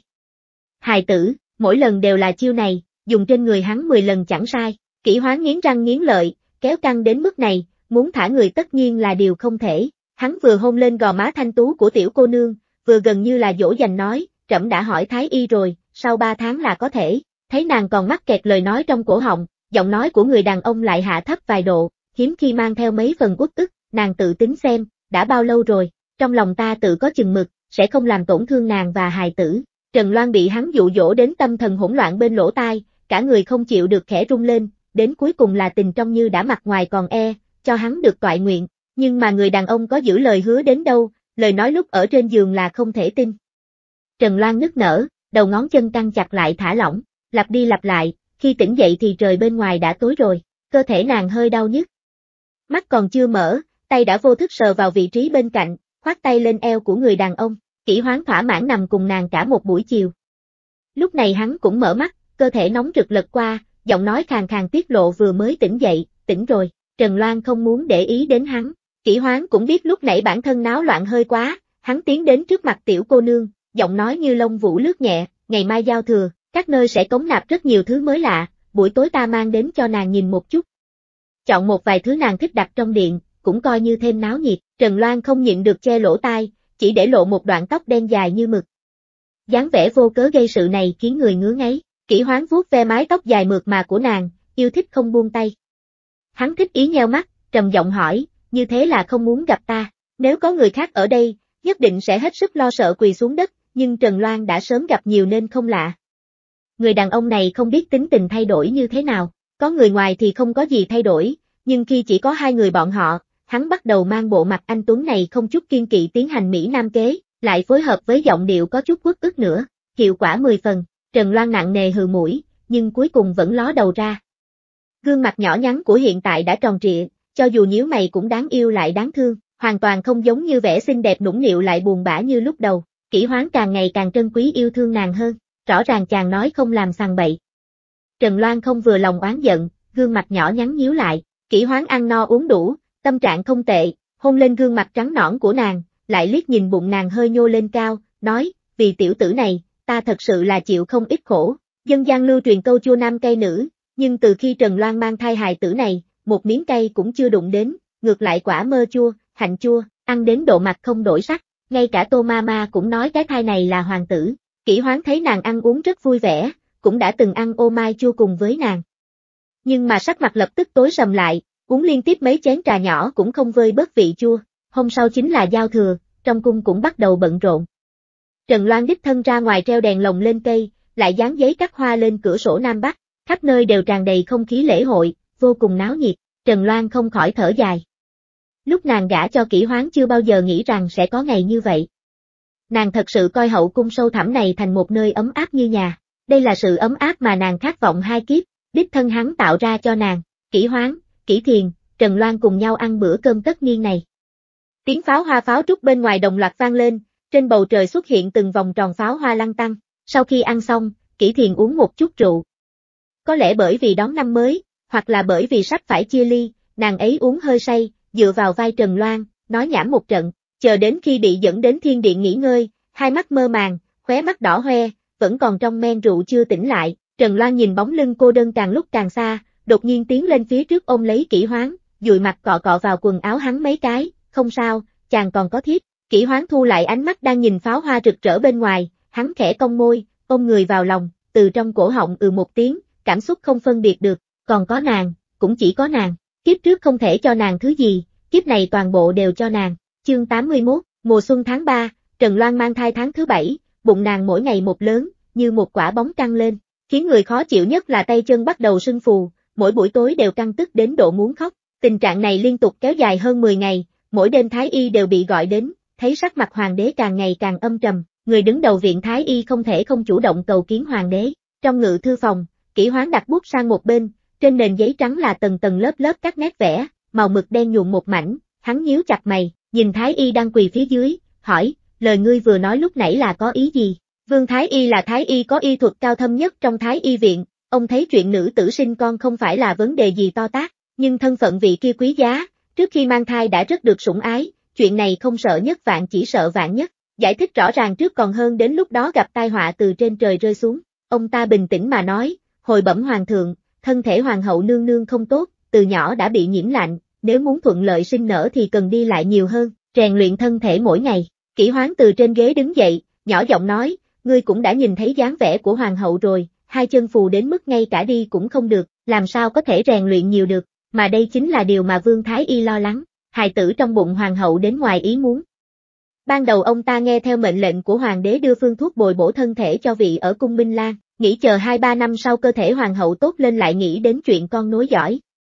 Lúc đó chuyện sinh nở cũng sẽ không khó khăn như bây giờ, cơ thể hoàng hậu yếu ớt, trong thời gian mang thai không nên cử động nhiều, hư nhược không bồi bổ, vì thần sợ lúc sinh sẽ có nguy hiểm. Vương Thái Y cúi đầu, nhưng giọng nói không hề nhỏ, rơi vào tai kỹ hoáng không sót một chữ, có nguy hiểm gì? Kỷ hoáng há có thể không nghe ra ý tứ trong lời nói của ông, lập tức lạnh giọng hỏi, sắc mặt cũng u ám, nếu xảy ra chuyện ngoài ý muốn, vi thần chỉ sợ hai tình huống, một là sinh non chưa đủ tháng, hai là lúc sinh không thể qua khỏi, kể từ hôm đó, không biết vì sao, cho dù người đàn ông có bận rộn đến mấy, tấu chương ở ngự thư phòng chất thành núi, mỗi ngày hắn đều rút thời gian đỡ nàng đi dạo bên ngoài, hoặc là đi mấy vòng quanh tiểu viện, có khi sẽ đi xa một chút, thậm chí đến cả ngự hoa viên, thời tiết ấm áp, hiện tại lúc đi Trần Loan chỉ có thể nhìn thấy cái bụng nhô cao của mình, ngay cả mũi chân cũng không nhìn thấy, nhưng người đàn ông vẫn một mực hạ quyết tâm, nhất định kiên trì. Nàng có tức giận làm mình làm mẩy với hắn cũng không có tác dụng, thái độ cứng rắn trước đây chưa từng có. Trần Loan sau khi suy nghĩ kỹ càng cuối cùng cũng nhận ra được điều gì đó, nhưng nàng không nói gì, mỗi ngày ăn ăn ngủ ngủ, lại bất lực tùy ý kỹ hoán đi dạo, lại qua 10 ngày, vào thời điểm ấm áp nhất trong năm, Đại Yên chào đón một ngày quan trọng hơn, Vào ngày 20 tháng 3, Tam công chúa xuất giá gã đến nước Tấn, hồng trang kéo dài hơn mười mấy dặm, trên tháp cao, mặt trời chiếu từng chấm ánh sáng vàng, giống như một bàn tay dịu dàng lướt qua gò má. Trần Loan nhìn nghi trượng thật dài đi ra khỏi cung dưới sự bảo vệ của sứ thần nước Tấn. Nàng nhẫn nhịn, cuối cùng vẫn là miếng môi nụ cười sụp đổ. Đại khái là kỹ hoán biết tâm trạng của nàng không thoải mái, hắn điểm điểm trên trán nàng, nói, cũng không phải là từ nay về sau không trở về nữa, hà tất phải thương cảm như vậy, lúc này hắn đã nghĩ thông. Lúc trước không biết là ai đi theo đứng ở trên tường thành lâu như vậy, nhìn không chớp mắt lấy một cái, người đàn ông này đúng là khẩu thị tâm phi, cũng không thể gọi là thương cảm. Viên viễn quan tâm thiền nhi, hôm nay lại là một ngày tốt lành hiếm có, Trần Loan đứng một lúc, mãi cho đến khi nghi trượng thật dài biến mất khỏi tầm mắt, mới nói, chỉ là luôn cảm thấy lo lắng mà thôi, chờ ra khỏi biên giới đại yến, viên viễn sẽ đích thân đưa người đến đón. Nàng cũng đã nghe lời hứa hẹn của hắn ngày hôm đó rồi, nếu đã mở miệng nói ra lời kia sau khi cân nhắc kỹ lưỡng, hắn nhất định sẽ không thất hứa. Kỷ hoán nhéo nhéo bàn tay hơi sưng phù của Trần Loan, nói nhỏ, hắn và viên viễn là cùng một loại người, lời hứa đã nói ra, sẽ dùng cả đời để thực hiện, vì vậy hắn tin viên viễn sẽ đối xử tốt với kỹ thiền. Đứng trên tường thành đón gió một lúc lâu, Trần Loan đã sớm cảm thấy mệt mỏi, nàng cử động bất tiện, bình thường chỉ đi mấy bước đã thấy tứ chi đau nhức, cơ thể nặng nề không thể nhấc nổi, tất nhiên, kế hoạch mỗi ngày đi dạo quanh điện dưỡng tâm cũng theo đó gặp trở ngại. Tháng tư, cỏ mọc chim oanh bay lượn, số tháng theo đó cũng tăng lên, tinh thần của Trần Loan càng ngày càng kém, giống như dinh dưỡng đã bị hài tử trong bụng hút hết, gương mặt nhỏ nhắn vốn có thai mà tròn trịa mềm mại, nay nhanh chóng gầy sọc đi. Ngoại trừ cái bụng, những nơi còn lại của cơ thể đều không nhìn thấy một chút thịt nào, cảnh này khiến tô ma ma nơm nớp lo sợ. Mỗi ngày đều đích thân xuống phòng bếp đổi cách nấu, cho Trần Loan đãi ngộ cao, làm canh bổ và dược thiện, nhưng vẫn không có cải thiện rõ rệt. Người trong điện cũng theo đó âm thầm mặt ủ mày trao, dù kỹ hoán có bận rộn đến mấy cũng sẽ quay về điện dưỡng tâm ngủ. Ban đêm hệ có chút cử động là sẽ bị đánh thức, hai mắt nhanh chóng xuất hiện thâm quần, Trần Loan đề nghị hắn đến thiên điện ngủ mấy lần, nếu không ngày hôm sau không có tinh thần và tâm tư xử lý công vụ, nhưng mà nói cái gì hắn cũng không nghe. Mỗi lần nghe nàng lại nhảy dông dài xong mới cười khẽ nói nếu hắn thật sự ngủ bên ngoài, chỉ sợ người không ngủ được lại biến thành nàng, ngàn phòng vạn phòng, đến giữa tháng tư, chuyện đáng sợ nhất vẫn phải đến, thời tiết vốn đang ấm áp đột nhiên giảm nhiệt độ, chỉ trong một đêm, rất nhiều người trong cung đều bị cảm lạnh, Trần Loan cũng không ngoại lệ, mắt đau nhức, ho khan không ngừng, đau đầu còn phát sốt, bởi vì trong bụng còn mang thai hài tử, đám thái y khoanh tay bó gối, rất nhiều loại thuốc không dám dùng, vì sợ làm tổn thương tiểu tổ tông trong bụng. Tình trạng này tiếp tục kéo dài 2-3 ngày, không những không tốt lên mà càng ngày càng nghiêm trọng. Đêm thứ tư, kỷ hoán đã ở trong điện dưỡng tâm phát hỏa hai lần, hỏa đến dồn dập, chặn vạn ngày 21 tháng 4, mặt trời còn chưa hoàn toàn lặn hẳn, mây rực rỡ như được nhuộm màu, từng đám mây màu đỏ, nhuộm đỏ hơn nửa bầu trời. Trần Loan vừa mới hạ được cơn sốt cao, lúc đang choáng váng đầu óc, bụng bắt đầu quặn đau. Lúc đầu chỉ là những cơn đau co rút có thể âm thầm chịu đựng được, sau đó cơn đau ngày càng trở nên dữ dội, từng cơn đau liên tiếp nhau, đau thấu tận xương tủy. Trong điện dưỡng tâm đã sớm có bà mụ trông coi. Tô Mama vừa sai người đi thông báo cho hoàng đế, vừa sai người đi mời thái y, còn bà thì đích thân canh phòng trước mặt Trần Loan, nắm lấy bàn tay lạnh lẽo của nàng, liên tục an ủi, nương nương đừng vội. Trước tiên chúng ta giữ sức, chờ đến bà mụ kêu dùng sức lại dùng sức, nhất cổ tác khí, tiểu hoàng tử cũng sẽ ra ngoài. Mặc dù nói thì nói như vậy, nhưng Tô Mama vẫn không khỏi thầm cảm thấy lo lắng, cảm thán hài tử này chọn thời điểm quá không thích hợp, vốn dĩ chỉ mới 8 tháng, sinh ra được thân thể hơn phân nửa là yếu ớt, còn cứ khăng khăng chọn đúng thời điểm nương nương nhiễm phong hàn, chuyện này làm sao tốt được, kỹ hoáng và thái y chạy tới cùng một lúc.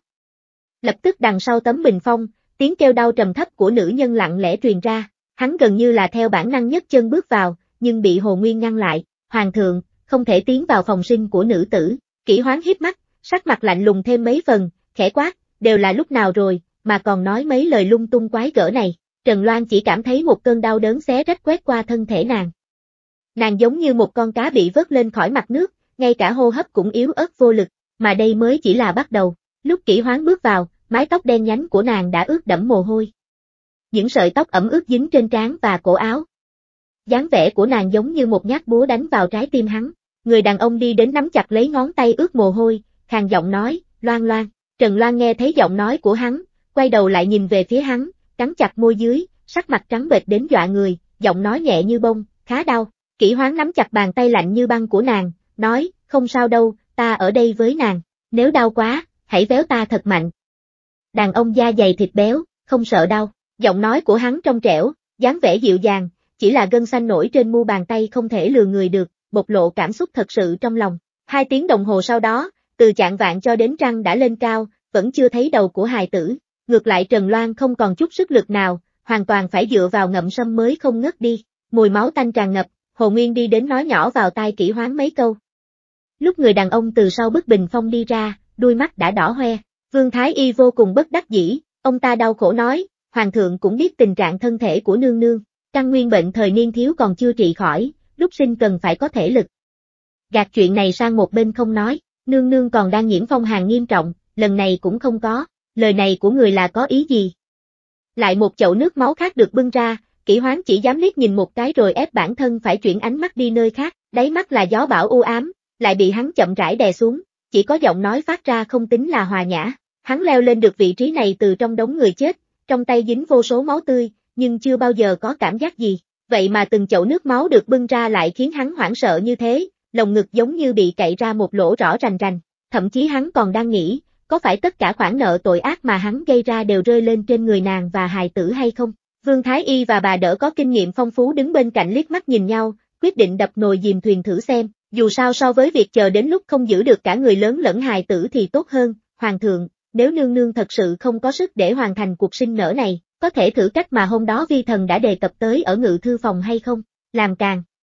Giống như sợ người bên trong nghe thấy, kỷ hoán đè thấp giọng nói, năm ngón tay siết chặt vào nhau, trên mu bàn tay màu đồng đột nhiên nổi lên mấy sợi gân xanh, hắn vô cùng tức giận, sắc mặt tối sầm, chuyện này đừng vội nhắc lại. Nếu có chuyện gì xảy ra với hoàng hậu và hài tử trong bụng, trẫm sẽ hỏi tội các ngươi. Vương Thái Y cúi đầu không nói gì, trong lòng thở dài. Tiểu hoàng tử hay tiểu công chúa trong bụng hoàng hậu quá không quan tâm đến mẫu thân rồi, phải chọn lúc này ra đời mới được, muốn bảo toàn an nguy của cả lớn và nhỏ, sợ là không thể nào thành hiện thực được, phương pháp kia là bất đắc dĩ mà thôi. Vương Thái Y nhớ tới tình trạng thân thể của vị kia, đã sớm chuẩn bị ma phí tán, chẳng qua đối với hoàng hậu mà nói, điều đó còn nguy hiểm hơn đau đớn rất nhiều. Đến lúc nguy cấp, coi như đó là cách để giữ lại hài tử, còn đối với người lớn, có thể sống được hay không hoàn toàn phụ thuộc vào tạo hóa, ý thức của Trần Loan hỗn loạn, ánh mắt rã rời. Không hiểu sao trong đầu nàng hiện lên rõ ràng rất nhiều hình ảnh ở kiếp trước, nàng nghĩ, chẳng lẽ kiếp này cũng không viên mãn hay sao, nàng đột nhiên rất không cam tâm. Nếu là kiếp trước thì không sao, nhưng kiếp này, nàng có kỹ hoán, có hài tử, có người thân, nàng không nỡ buông tay như vậy, ngón tay mảnh khảnh tinh tế như cộng hành bởi vì dùng sức, mà hiện lên gân xanh tinh tế, nàng biết, nếu như nàng trầm luân vào sâu hơn nữa, nàng sẽ hoàn toàn bị lạc vào luân hồi của kiếp trước. Bàn tay của Trần Loan đang cầm giải lụa đột nhiên bị lòng bàn tay ấm áp bao bọc lấy, nàng cố gắng mở mắt ra, đầu móng tay tay trắng bệch sắc nhọn cắm sâu vào da thịt lòng bàn tay của hắn. Bên tai nàng là giọng nói hiếm khi lộ ra sự sợ hãi của hắn, từng câu từng chữ như nước chảy vào trong lòng, loan loan, nàng biết ta sợ nhất điều gì không? Giống như có chút mệt mỏi, giọng nói của hắn rất khàn, thật sự không dễ nghe, Trần Loan khó khăn nhìn về phía hắn cong môi. Hình ảnh ký ức kiếp trước rút đi như thủy triều, cơn đau kịch liệt tấn công vào chỗ sâu nhất trong tâm hồn, nàng nặng nề hừ một tiếng, đôi môi bị cắn đến mức trướng máu. Nửa giờ sau, lúc đứa trẻ được sinh ra, nàng hoàn toàn mất đi sức lực, mắt tối sầm lại, hoàn toàn hôn mê bất tỉnh, thật sự là dạo một vòng ở quỷ môn quan. Tô ma ma ôm đứa bé trắng nõn mềm mại quấn trong tả lót đi đến trước mặt kỹ hoáng, gương mặt nở nụ cười tươi như hoa, chúc mừng hoàng thượng, nương nương sinh được một tiểu hoàng tử. Trong tiếng chúc mừng và tiếng cười vui vẻ, hai mắt kỹ hoáng nặng trĩu, mới cảm thấy bản thân chảy mồ hôi không thua kém gì Trần Loan. Hắn hơi mệt mỏi phất tay, khàn giọng nói, ôm đi, gọi bà vú đến chăm sóc, đều lui xuống hết cả đi.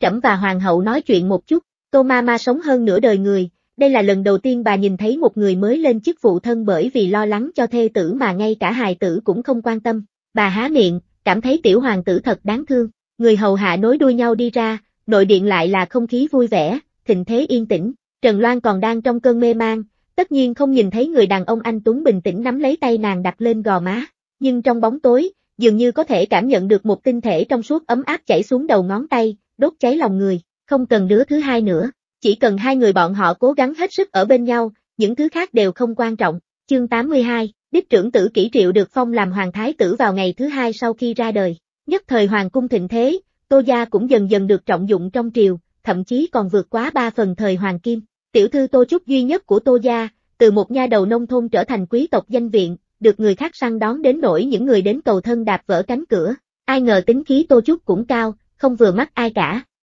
Lan lão thái thái vừa hỏi thì ấp a ấp úng bắt đầu che đậy, nhưng ý tứ bộc lộ trong lời nói rất rõ ràng. Sau khi Lan lão phu nhân hỏi đến hai ba lần thì trong lòng cực kỳ kinh ngạc, vội vàng kéo người vào phòng để hỏi rõ ràng. Đang là mùa hè, trong phòng bắt đầu đặt chậu nước đá. Tô phủ bây giờ so với trước đây tốt hơn nhiều, ngay cả hương sông trong phòng lão thái thái cũng là đồ ngự ban, có thể thấy được địa vị ân sủng. Lan lão phu nhân che chở sủng ái ấu nữ Tô gia như giống với Tô viện năm đó. Lúc này mái tóc đã bạc phơ, nhưng sắc mặt âm trầm hiếm có, mặc dù trong giọng nói vẫn mang theo ý cười nhưng không đạt tới đáy mắt, bà vẫy tay với Tô Trúc, con qua đây, tổ mẫu hỏi con một vài chuyện, Tô Trúc vất khăn đứng trước mặt lão thái thái, trong lòng đại khái biết rõ, hôm nay nàng ta cũng hy vọng nói chuyện thẳng thắn với lão thái thái, đã từng gặp qua người đàn ông như kỹ hoáng, lại còn thâm tình như vậy, làm sao trong mắt nàng ta có thể chứa được mấy kẻ ăn chơi trác tán ở kinh đô. Nàng ta đã suy nghĩ rất rõ ràng, cho dù vào cung sẽ bị đường tỷ chèn ép, nàng ta vẫn muốn thử xem sao, huống chi người đó là thiên tử, hậu cung của thiên tử, làm sao chỉ có duy nhất một người được. Đương nhiên nước phù sa không chảy ra ruộng ngoài, chờ lão thái thái nói chuyện với Trần Loan, Trần Loan sẽ tự nghĩ thông, vốn dĩ hai người là quan hệ tỉ muội, trong cung cũng có thể giúp đỡ nhau chèn ép kẻ xấu, cuối cùng con nghĩ thế nào? Ba tháng trước đường tỷ của con đặc biệt sai người mang danh sách đến, ta và tổ phụ của con đã gặp qua thiếu niên lang của ba bốn nhà đứng đầu danh sách, gia thế trong sạch, người cũng biết vươn lên. Bây giờ con đã đến tuổi kết hôn, kéo dài cũng không phải là chuyện tốt. Hôm nay con hãy cho tổ mẫu một lời khẳng định, con nhìn trúng nhi tử nhà nào. Nếu thật sự không tệ, tổ mẫu cũng không giữ con lại. Lan lão thái thái mắt sáng như đuốc, nhìn chầm chầm sắc mặt của Tô Trúc, bất kỳ sự thay đổi nào cũng không thể thoát khỏi ánh mắt của bà. Con ngươi Tô Trúc thay đổi mấy lần, sau đó cắn chặt môi dưới, mắt ngấn lệ nhìn Lan lão phu nhân.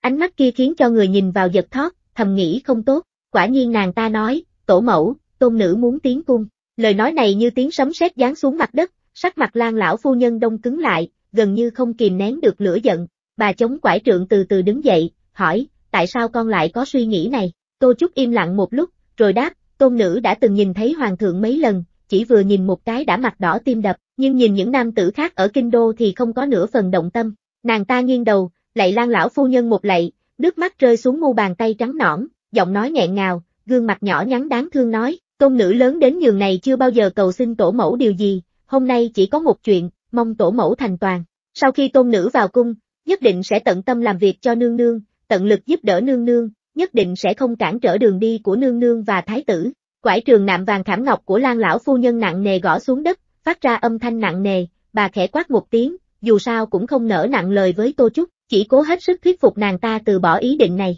Con nói thật dễ nghe, đường tỷ của con mất mẫu thân từ nhỏ, không có người thương yêu.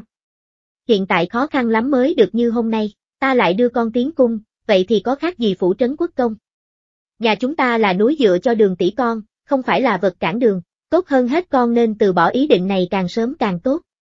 Nếu để cho tổ phụ của con biết, ông ấy sẽ đánh gãy chân con, ta có muốn bảo vệ cũng không bảo vệ được. Tô Trúc không hiểu, kinh ngạc ngước mắt lên, ngang bướng trả lời, tại sao con và đường tỷ khác nhau?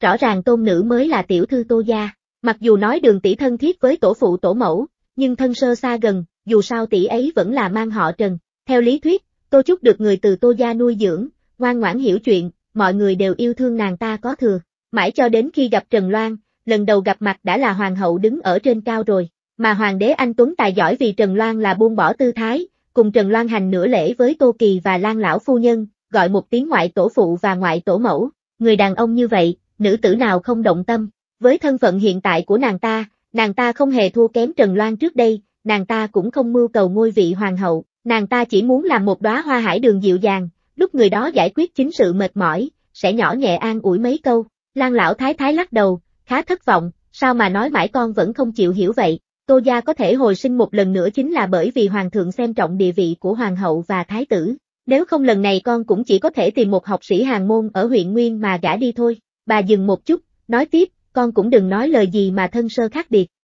Đường tỷ của con không có cô cô của con chăm sóc, tô phủ chúng ta không quan tâm con bé bao nhiêu năm, lúc nhỏ con được chúng ta chăm sóc nuôi lớn, lại chịu uất ức bao nhiêu, lời ta nói hôm nay, con nên tự mình suy nghĩ, đừng để mọi người thất vọng mới đúng. Đây vốn là một cuộc nói chuyện vô cùng bí mật nhưng không hiểu sao lại đến được tai Trần Loan. Nàng nghe hai ba câu mập mờ nước đôi cũng không để tâm, ngược lại bảo Lưu Nguyệt đến ngự thư phòng một chuyến, nói chuyện này cho người đàn ông kia nghe, đêm đó bị trừng trị có chút thảm. Một người đàn ông đã làm cha nhìn thành thục chững chạc, có đôi khi Trần Loan nhìn lại, cảm thấy năm tháng đối xử tử tế, giống như không hề lưu lại bất gì dấu vết nào trên người hắn. Mà nàng thì ngược lại, sau khi sinh hài tử, thời gian một hai tháng đã tiều tụy không tưởng tượng nổi. Sau khi mưa tạnh gió ngừng, giọng nói kỹ hoáng khàn khàn ý vị thâm trường nói vào tai nàng, tại sao ban ngày lại sai người đến truyền những lời như vậy, chê ta yêu thương nàng chưa đủ. Trần Luân lau mồ hôi trên thái dương, cười cười phớt lờ, vương đầu ngón tay mảnh khảnh thon dài vỗ vào lồng ngực trắng chắc của người đàn ông, nói, vậy cũng không phải, chỉ là ngoại tổ phụ đối xử với thiếp không tệ.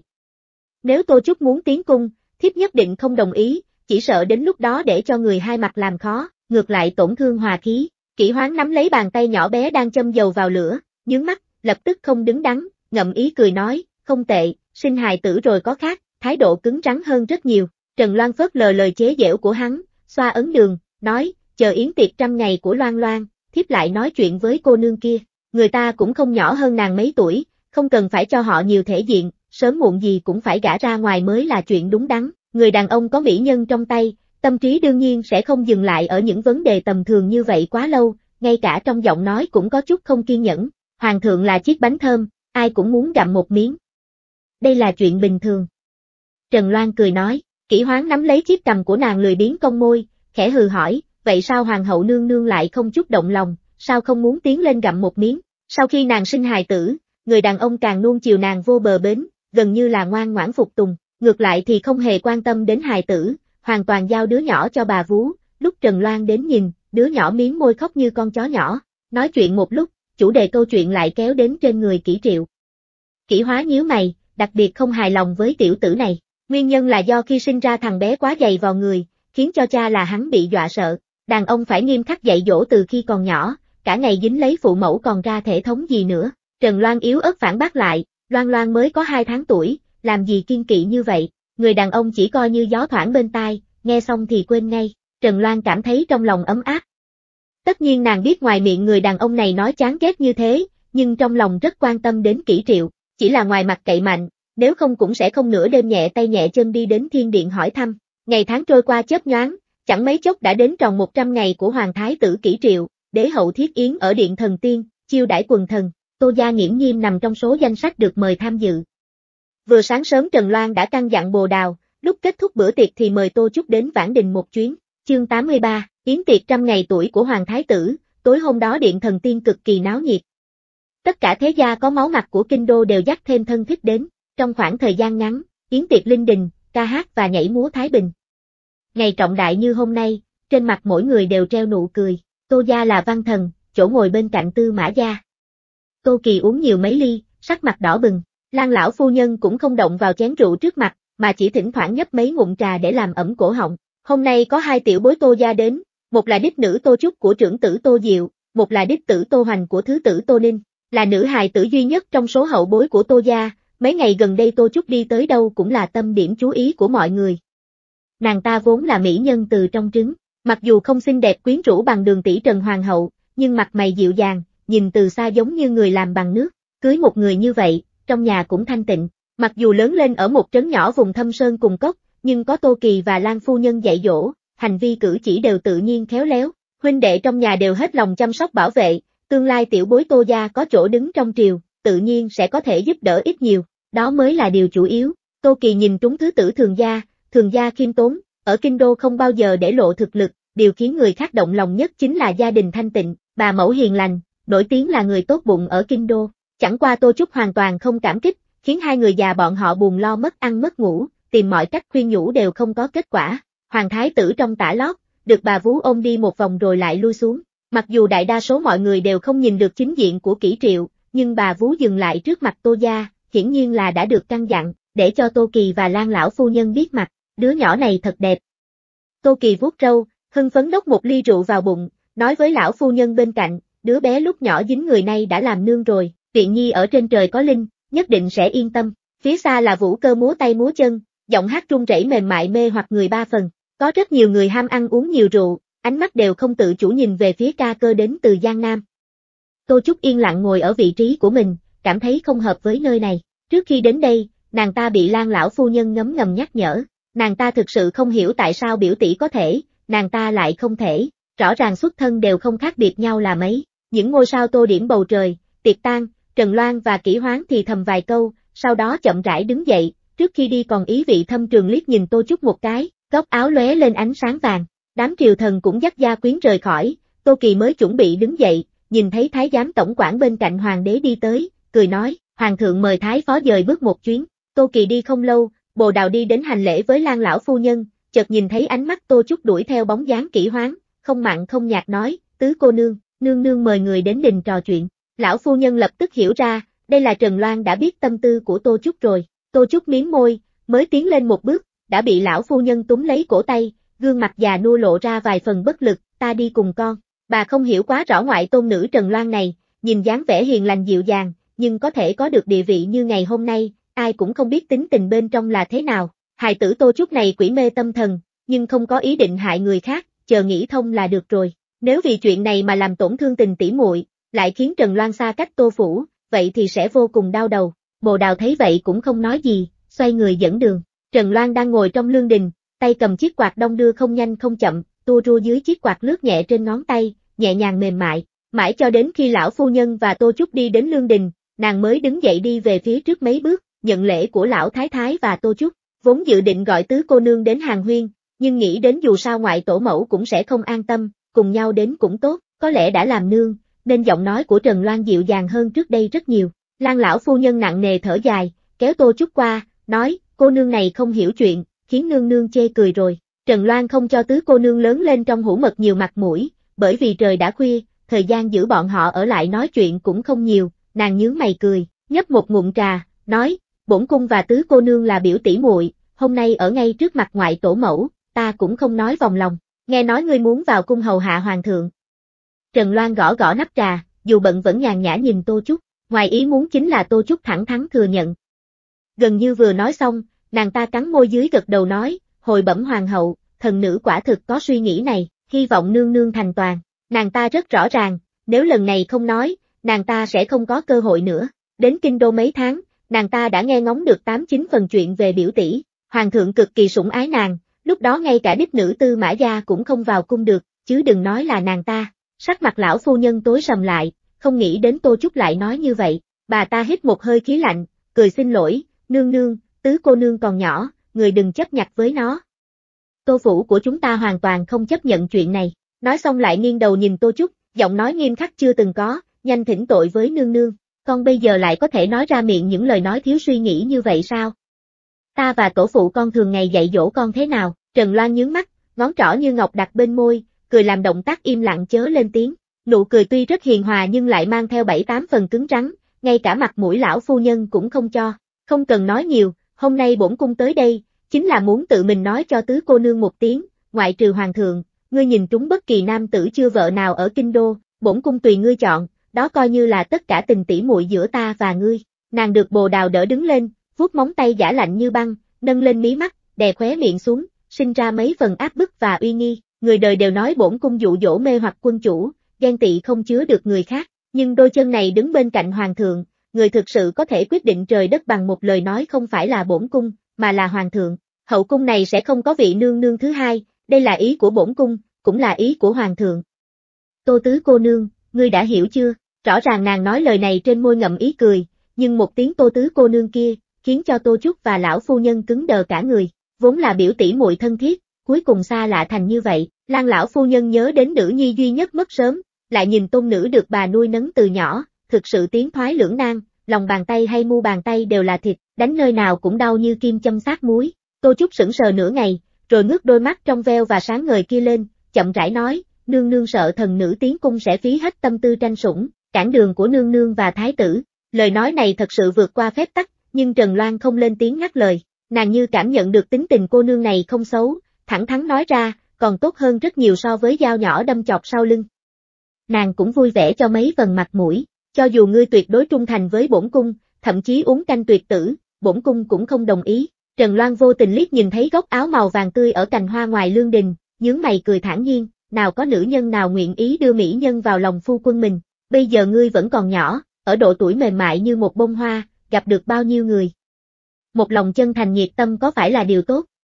Chỉ là chớ có mắc sai lầm là được, Nói xong nàng đi đến trước mặt lão phu nhân, giọng nói vẫn dịu dàng, tứ cô nương là nữ hài tử duy nhất trong đám hậu bối tô gia, lớn lên trong vô vàng sủng ái, mà ta dù sao cũng mang họ Trần, đối với tô phủ mà nói là người ngoài, cho nên bởi vì như vậy, hôm nay ta mới đứng trước mặt lão phu nhân nói, có ta ở đây, tứ cô nương sẽ không bao giờ tiến cung được. Nói đến mức này, Trần Loan đặt tay lên ngực tự hỏi, nàng đối với Tô Phủ cũng coi như là chân thành tận tụy, nếu Tô Trúc cứ khăng khăng u mê không chịu tỉnh ngộ dùng bất cứ thủ đoạn gì, nàng cũng sẽ không khách khí. Lan lão phu nhân gật đầu, trước mắt mờ mịt từ lúc nào không hay.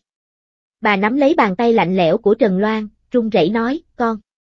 Sao con có thể là người ngoài được, con ở trong lòng ta và người Tô Gia, đều có trọng lượng giống như tứ nha đầu. Trần Loan biết ý của bà, nàng là nữ nhi duy nhất của Tô Viện, người Tô Gia thương xót nàng nhỏ đã mất mẹ, lại bởi vì yêu ai yêu cả đường đi lối về, đối xử với nàng cũng là thật tâm thật ý, có thể sánh bằng với tôn nữ ruột thịt chăm sóc dưới gối. Nhưng dù sao tình cảm vẫn thua kém việc nhìn từ nhỏ đến lớn, nàng không muốn lấy việc đó đánh cuộc, cũng không cần thiết, đêm hè lạnh như nước, ánh trăng chiếu xuống lương đình thả mình vào trong mặt nước, sóng sánh sáng ngời, Trần Loan mới sinh con không lâu, khí huyết hao tổn, không thể so với trước, lúc này đứng lâu trong gió đã cảm thấy không thoải mái, lại trấn an lão phu nhân mấy câu, Trần Loan xoay người rời đi.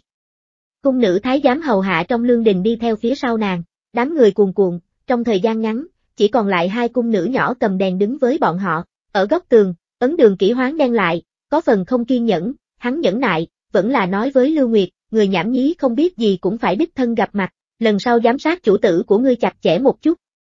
Lời Thái Y dặn dò đã quên hết rồi sao, Hồ Nguyên và Lưu Nguyệt đều im lặng không lên tiếng, đoán chừng là hoàng thượng bị lúc sinh thái tử dọa sợ, bây giờ mỗi buổi tối đều phải kéo hoàng hậu đi dạo trong ngự hoa viên và hành lang, còn cung cấp nhân sâm linh chi tốt cho sức khỏe qua, thậm chí còn không nhìn thấy đồ ăn cây mặn xuất hiện trên bàn nữa, không khác gì ở trong chùa trên núi tu hành ăn chay. Đêm nay gió thổi còn trò chuyện với người khác, nghĩ như thế nào cũng thấy không tốt cho thân thể.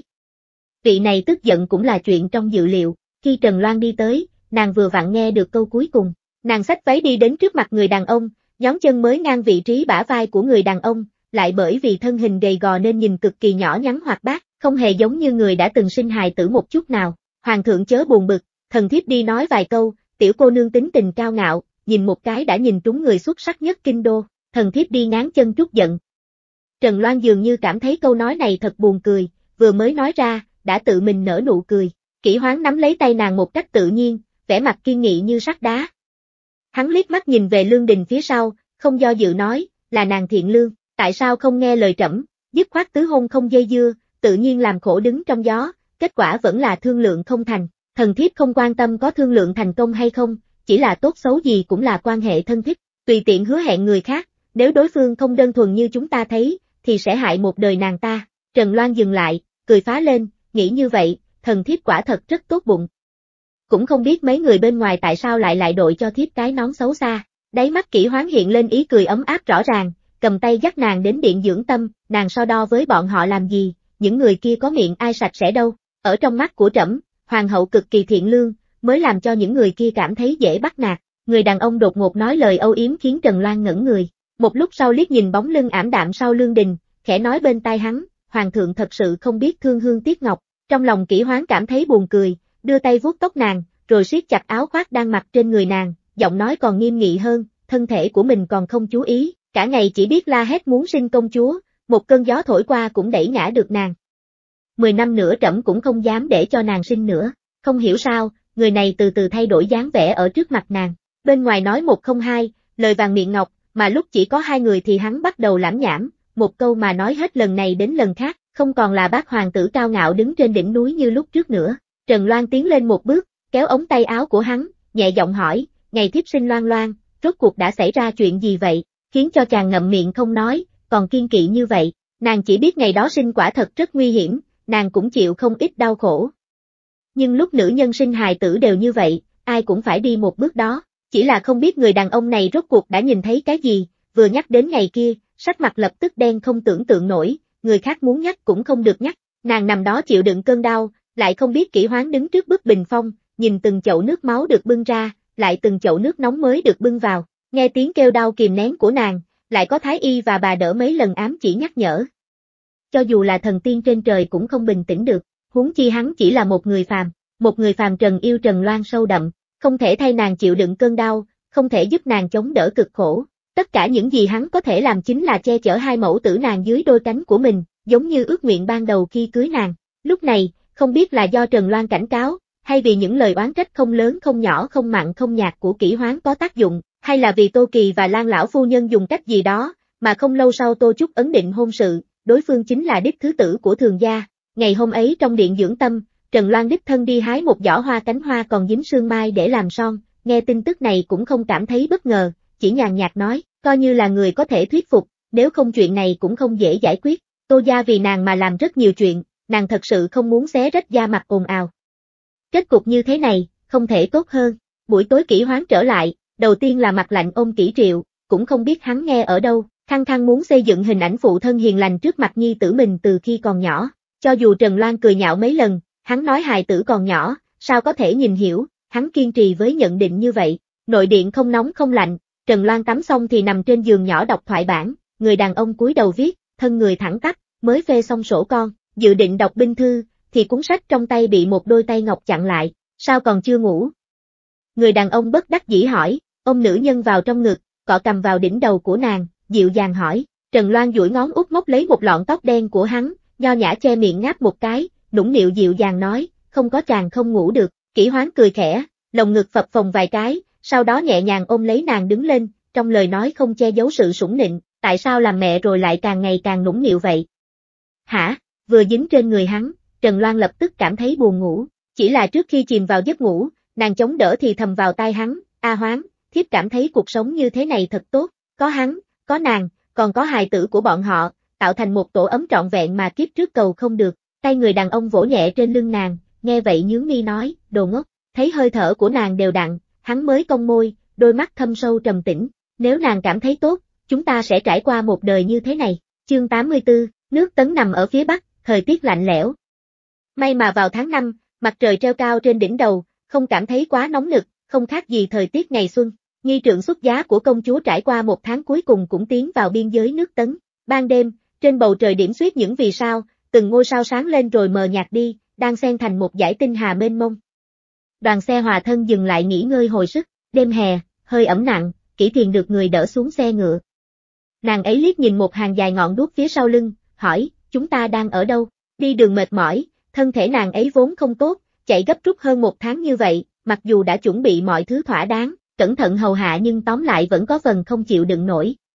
Mấy ngày nay nắng nóng lắng xuống, nhưng giống như trực tiếp nhảy qua thời điểm nắng nóng nhất, bước vào mùa thu. Lúc còn bé, Kỷ Thiền đã từng đến nước Tấn, lúc này trong lòng nàng ấy có chút hiểu rõ, nghĩ thầm còn cách điểm đến không xa nữa. Vệ tướng quân hộ tống Kỷ Thiền hòa thân đi về phía vị cành vàng lá ngọc tôn quý nhất hoàng thất, ôm quyền nói, công chúa, nơi này là hổ khẩu lĩnh, đi qua ngọn núi phía trước, chính là địa giới của nước Tấn. Kỷ Thiền gật đầu, siết chặt áo choàng trên người, cúi đầu ho khan vài tiếng, đáy mắt lập tức hiện lên một tia nước. Vị tướng quân kia vừa nhìn thấy thì ngẩn người, mới phát hiện bản thân thất lễ muốn nhận tội, nhưng làn gió thơm kia đã đi mất. Hắn ta không khỏi vỗ trán, cảm thấy lúc nãy bản thân thật sự bị ma quỷ ám. Vị mỹ nhân nổi tiếng nhất xinh đẹp nhất kinh đô này, quả thực danh xứng với thực, một ánh mắt thôi cũng đủ treo chọc lòng người. Chẳng trách loại nhân vật phong lưu như Hoàng Thái tử nước Tấn, cũng phải cầu thân mấy lần, cuối cùng mới ôm được mỹ nhân về. Liễu Chi biết rõ tâm trạng lúc này của chủ tử nhà mình.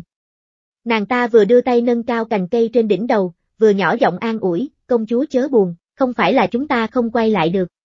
Ngày mai đến ranh giới nước tấn, là có thể gặp được thái tử rồi. Sắc mặt của kỹ thiền diệu đi một chút, nàng ấy cong môi mỉm cười, đuôi mắt khẽ nhướng, ánh mắt nhìn về khe núi tối tăm phía trước, nói, nếu đã có lựa chọn rồi, tất nhiên phải đi về phía trước, nghĩ nhiều cũng vô ích.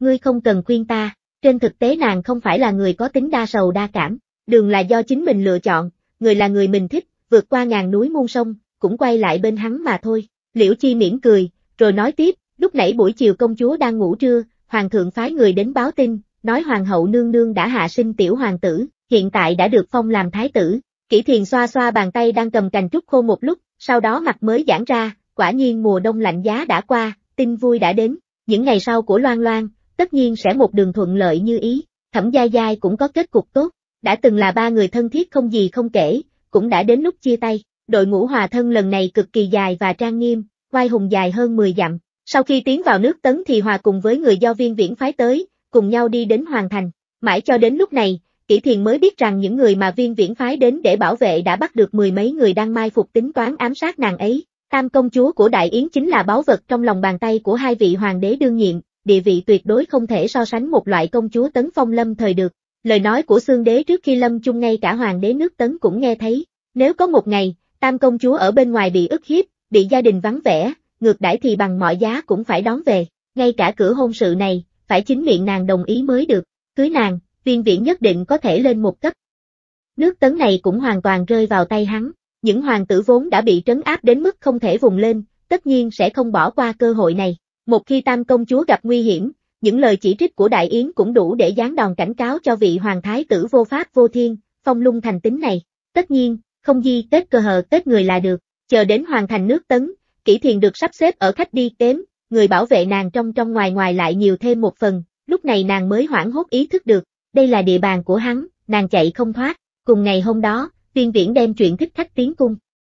Chuyện tiếp theo, kỹ thiền có thể đoán được 8 phần, hoàng tử tham gia vào chuyện này, đoán chừng có kết cục giống như kỷ tiêu năm đó, ban đêm, ngân hà xoay chuyển, kỷ thiền có được một giấc ngủ ngon hiếm có, sớm bảo nha hoàng tắt đèn, còn đặt cách ban ân điển cho bọn họ lui xuống nghỉ ngơi, đi đường mệt nhọc một thời gian dài như vậy, bọn họ cũng sắp không chịu nổi rồi, ánh trăng chiếu xuống cửa sổ, trông như nước như bạc.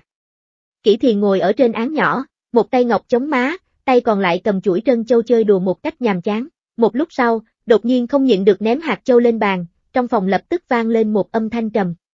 Nàng ấy nhíu mày, lạnh lùng hỏi, muốn nhìn trộn đến lúc nào nữa hả? Một tiếng cọt kẹt, cánh cửa nhẹ nhàng đẩy ra.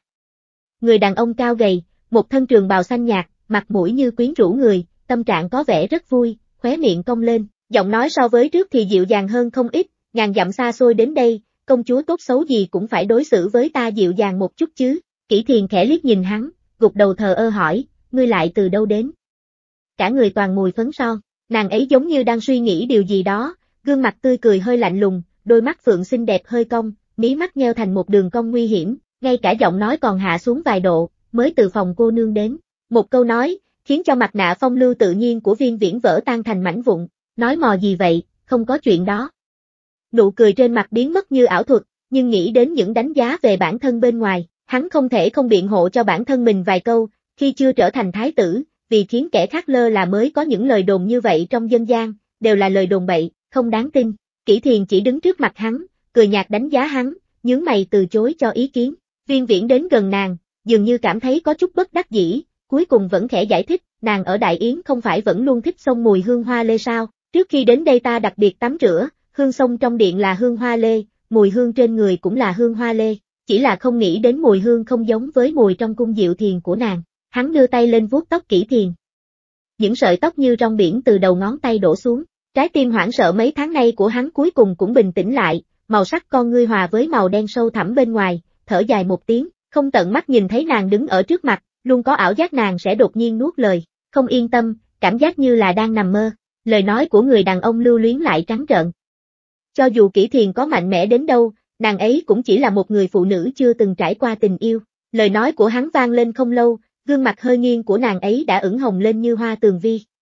Nhưng lại bình tĩnh nói, lời bổn cung đã nói, tuyệt không nuốt lời, từ trong yết hầu của người đàn ông vang lên tiếng cười trầm thấp, hắn cực kỳ yêu thích cái loại phản ứng hoảng loạn chuyển chủ đề câu chuyện này của nàng ấy. Chẳng qua tam công chúa vốn quen ngang ngược đã đánh giá thấp da mặt dày của người đàn ông này, dáng vẻ ấm áp lúc mới gặp mặt biến mất không còn sót lại một chút gì khi tiếp sau đó người đàn ông nằm trên giường nhỏ, nàng ấy im lặng, vươn tay đẩy bên hông người đàn ông, giọng nói luống cuốn hiếm có, huynh làm gì vậy, trăng đã lên cao, còn không đi, thật sự định ngủ ở đây, người đàn ông bên cạnh đột nhiên im lặng, đẩy thế nào cũng không dậy,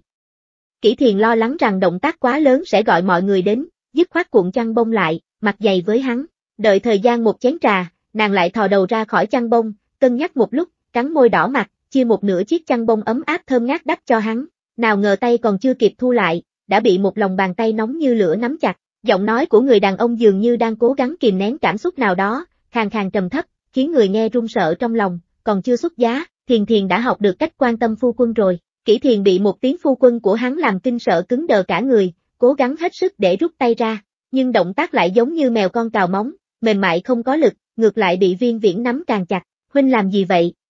Giọng nói lạnh lẽo truyền đến tai viên viễn.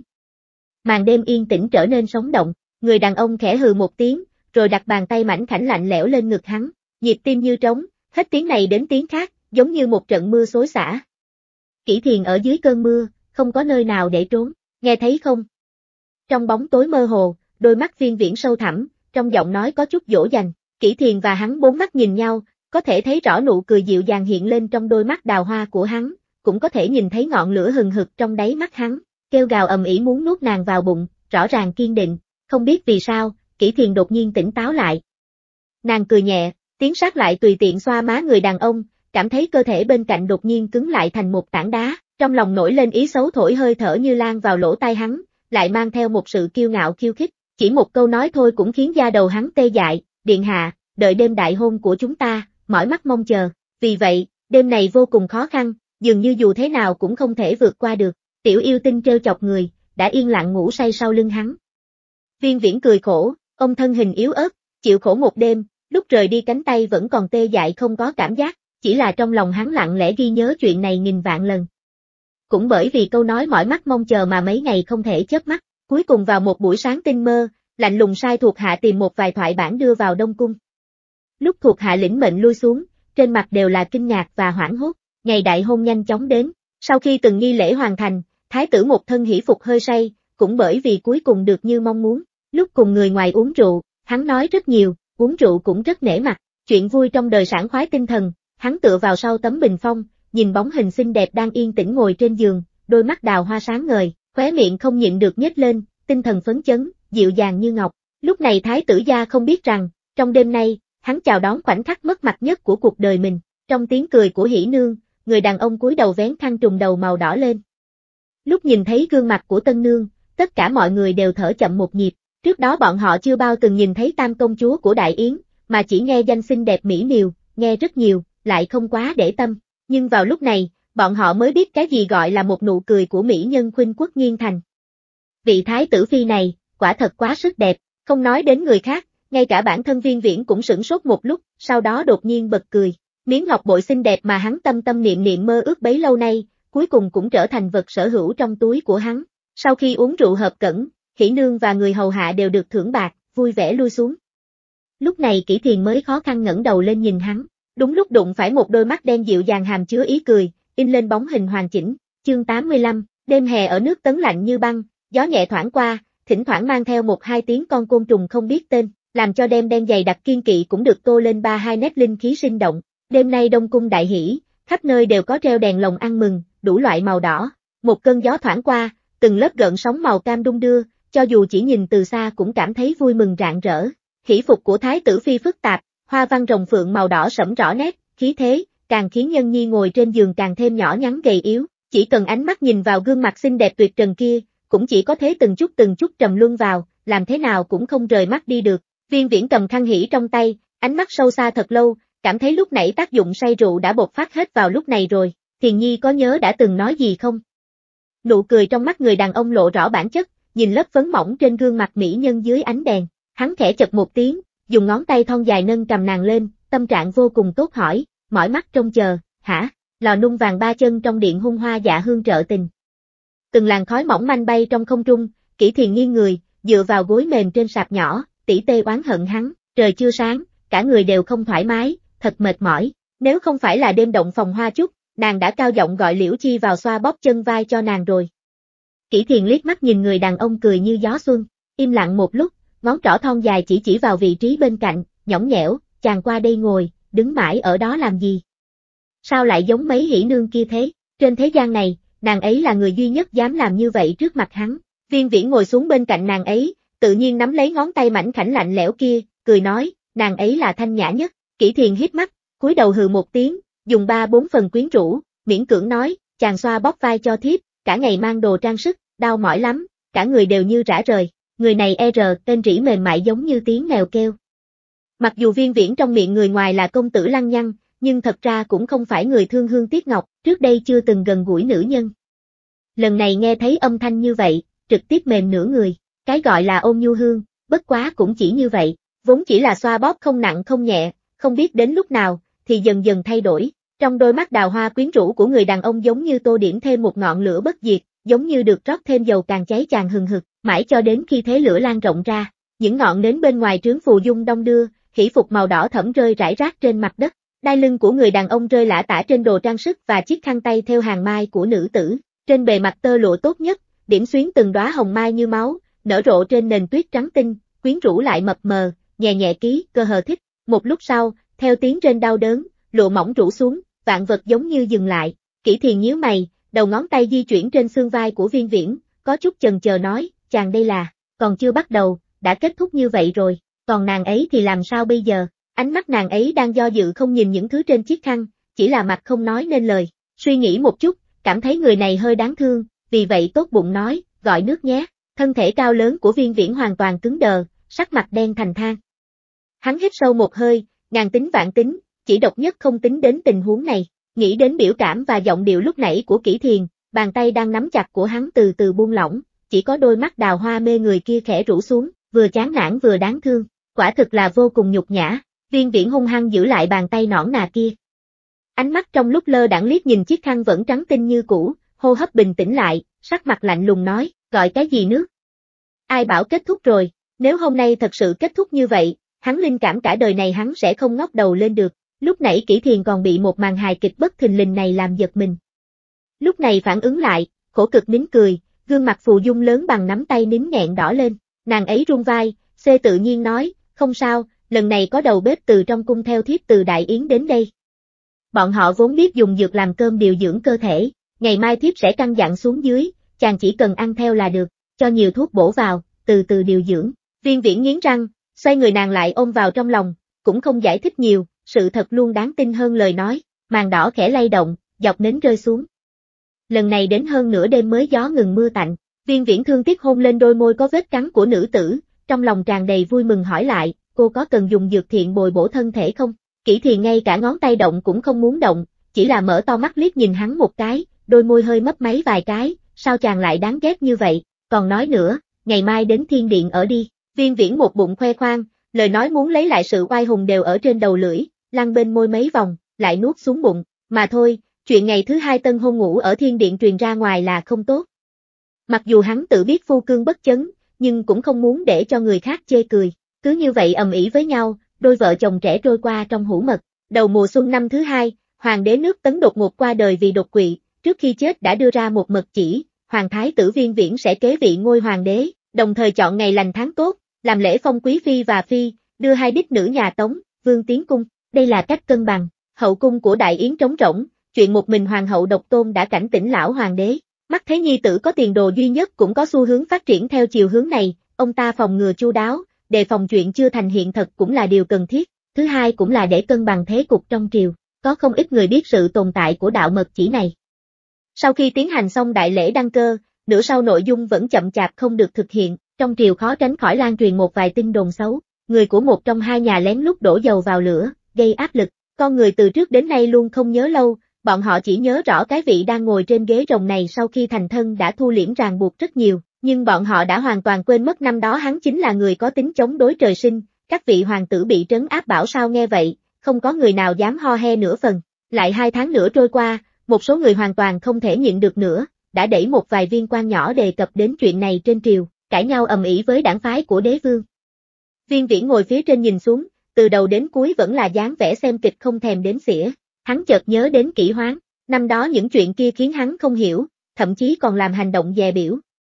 Thẳng cho đến hôm nay, đáp án sinh động hiện ra trước mắt, hắn, viên viễn đã đi cùng một con đường giống như kỹ hoán, lại nói tiếp, coi như là hoàn toàn ngã xuống, cam tâm tình nguyện thua. Cuộc cãi vã này đương nhiên không có ý nghĩa, tác dụng của nó là nhắc nhở đế vương trên long ỷ sự tồn tại của đạo mật chỉ kia, mọi người đều biết, giấu giếm cũng vô ích. Ban đêm, trăng treo trên đỉnh đầu, hai người nắm quyền vào cung, viên viễn thấy người đến, cực kỳ hòa nhã ân cần ban ngồi, lại chỉ vào tập tài liệu xếp thành một ngọn núi nhỏ trên bàn, lời ít ý nhiều, hai người đều xem một chút đi. Hai người bước lên, mỗi người cầm một quyển, mới đọc vài dòng chữ, sắc mặt đột nhiên thay đổi.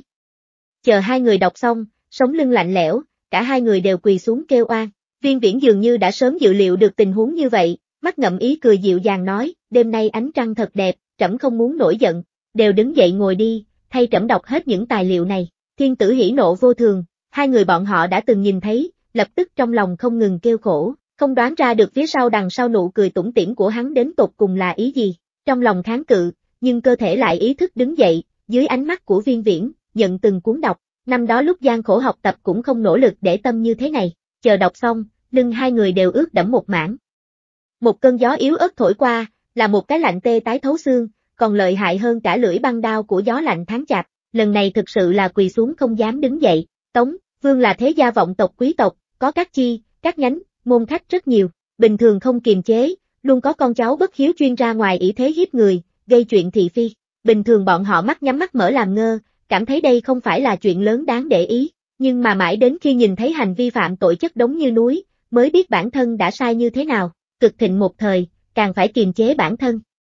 Nếu đế vương có ý định điều tra, chỉ cần dựa vào các chứng cứ phạm tội lớn lớn nhỏ nhỏ kết hợp với nhau, nếu công khai ra bên ngoài, thì danh tiếng và thanh danh xưa nay sẽ trở thành tiếng xấu, tội lỗi chồng chất. Dù sao hai người bọn họ cũng là nhân vật trải qua sóng to gió lớn, sau khi kinh ngạc thì chính là trăm miệng liều chết không thừa nhận. Đại khái là bọn họ cũng biết, nếu viên viễn đã lựa chọn bí mật gọi bọn họ vào cung, chính là không muốn làm lớn chuyện này, có đường sống thương lượng, bản thân cũng không phải là phạm tội gì chí mạng. Nụ cười trên mặt viên viễn càng sâu hơn, hắn chỉ vào chứng cứ phạm tội rải rác trên mặt đất, đi tới trước mặt hai người, không nhanh không chậm nói, hai vị đại nhân là trường cột của nước nhà, vì nước tấn cúc cung tận tụy tận tâm tận lực, chỉ là con cháu có chút vô sĩ mà thôi, trẫm cũng không phải là người không khoan dung. Ánh mắt hắn quét qua hai người, giọng nói dịu dàng trầm thấp, hai người muốn giải quyết riêng tư hay công khai, cả hai vị đó đều không thể tin vào tai mình. Viên viễn nhìn sắc trời bên ngoài, có chút không kiên nhẫn, gõ bàn, nhanh quyết định, trẫm không nhẫn nại như tiên hoàng đâu. Cuối cùng vẫn là vương phù co được giảng được, nghiến răng nén giận nói,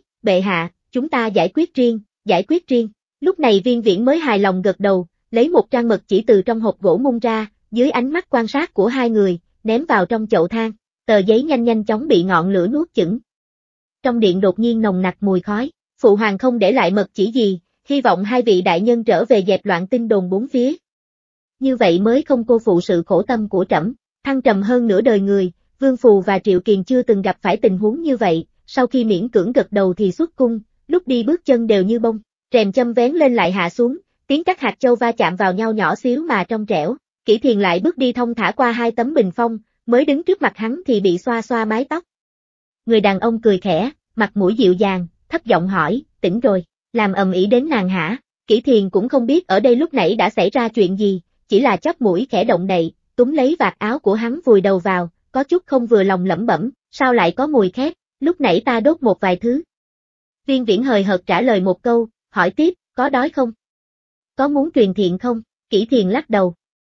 Mắt phượng dưới ngọn đèn lấp lánh kèm hơi nước, có lẽ là vừa mới tỉnh dậy, gương mặt nhỏ nhắn mềm mại khó khăn lắm mới dưỡng lên được mấy phần da thịt, nhìn hắn muốn nói lại thôi. Viên viễn không nhịn được véo một bên má nàng ấy, đáy mắt hiện lên ý cười và sự khoan dung, có chút bất đắc dĩ nói, lại muốn ăn món gì đó mới lạ, ta đã gửi thư cho kỹ hoán rồi, sắp xếp hai ngự trù cho nàng, lại nhẫn nại tầm 10 ngày nữa là đến. Trước đây, tính tình người này còn có chút chịu đựng, đầu bếp đi cùng chỉ làm dược thiện, lại bởi vì địa lý và văn hóa khác biệt, đồ ăn ngự trù nước tấn làm không hợp khẩu vị của nàng ấy, lần nào dùng bữa nàng ấy cũng kén ăn, tâm trạng tốt thì còn được, nếu không tốt thì chỉ khẩy khẩy mấy hạt cơm ăn qua loa, chỉ là người nàng ấy có chút thịt, đều do hắn nghĩ ra cách hận không thể một ngày bày năm bữa cơm mới dưỡng lên được, vật nhỏ khiến người yêu thích, nghiễm nhiên chính là tổ tông, chi bằng lúc nào cũng nâng niu.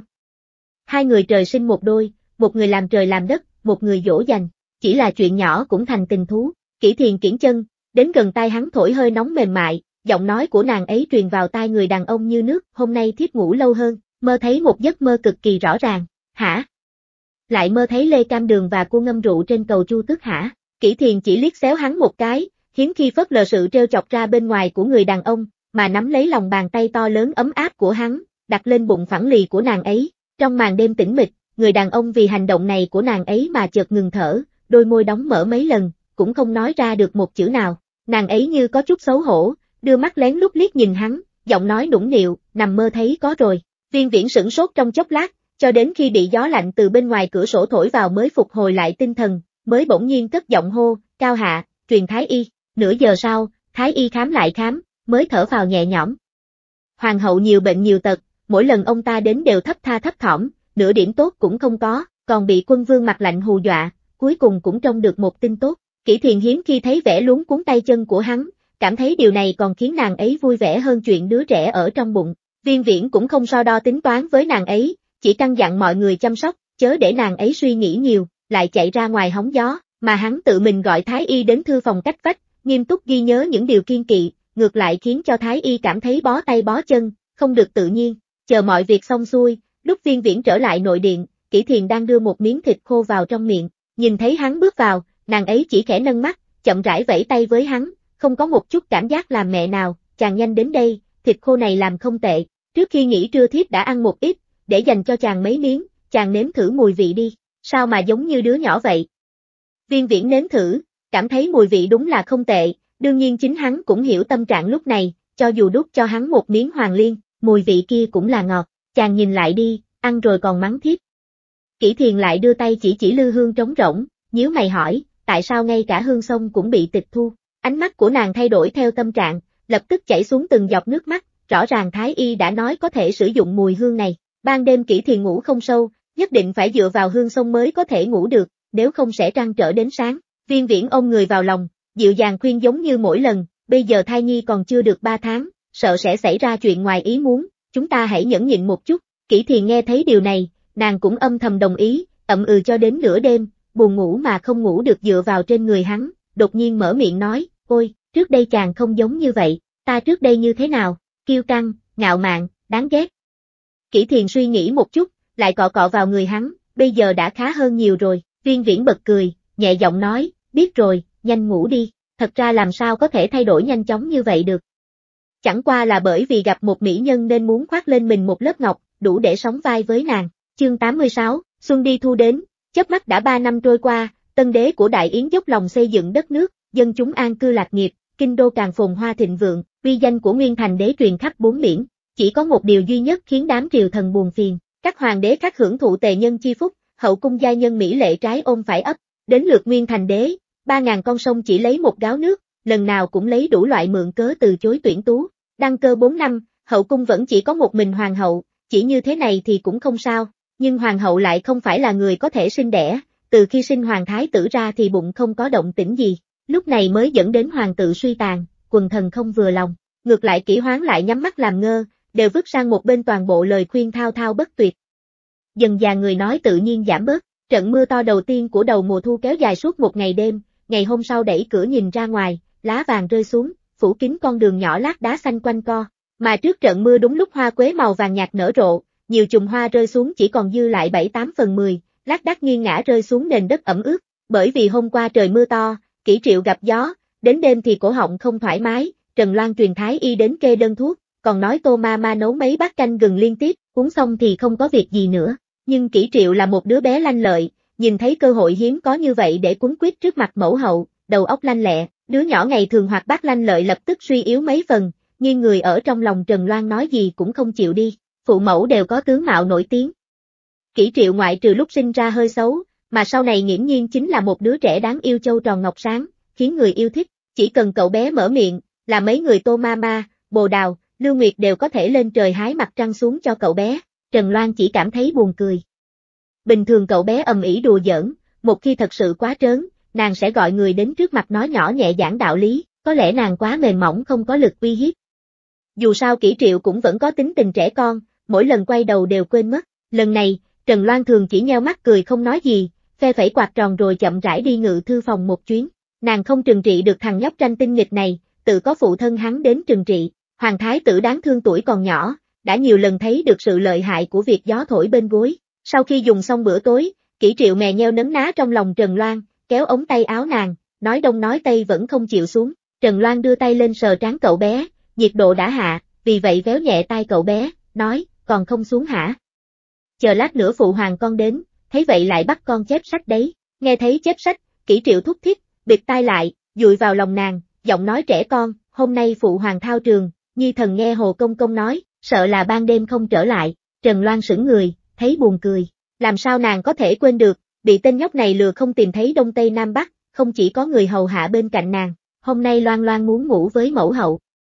Kỷ triệu nói điều này có chút quốc ức lại mang thêm ba bốn phần không vừa lòng. Ngày thường, cậu bé sẽ không dám đưa ra yêu cầu này, bởi vì có phụ hoàng mặt lạnh ở đây. Chỉ cần kỹ hoán ngủ ở điện dưỡng tâm, cậu bé sẽ phải về tẩm cung của mình sớm, hơi để lộ ra chút tâm tư, phụ hoàng sẽ nhàn nhạt mở miệng cảnh cáo, phạt cậu bé chép sách không chút mềm lòng. Trần Loan cũng phê phán chuyện này, mấy lần không khỏi bất bình thay cho kỹ triệu.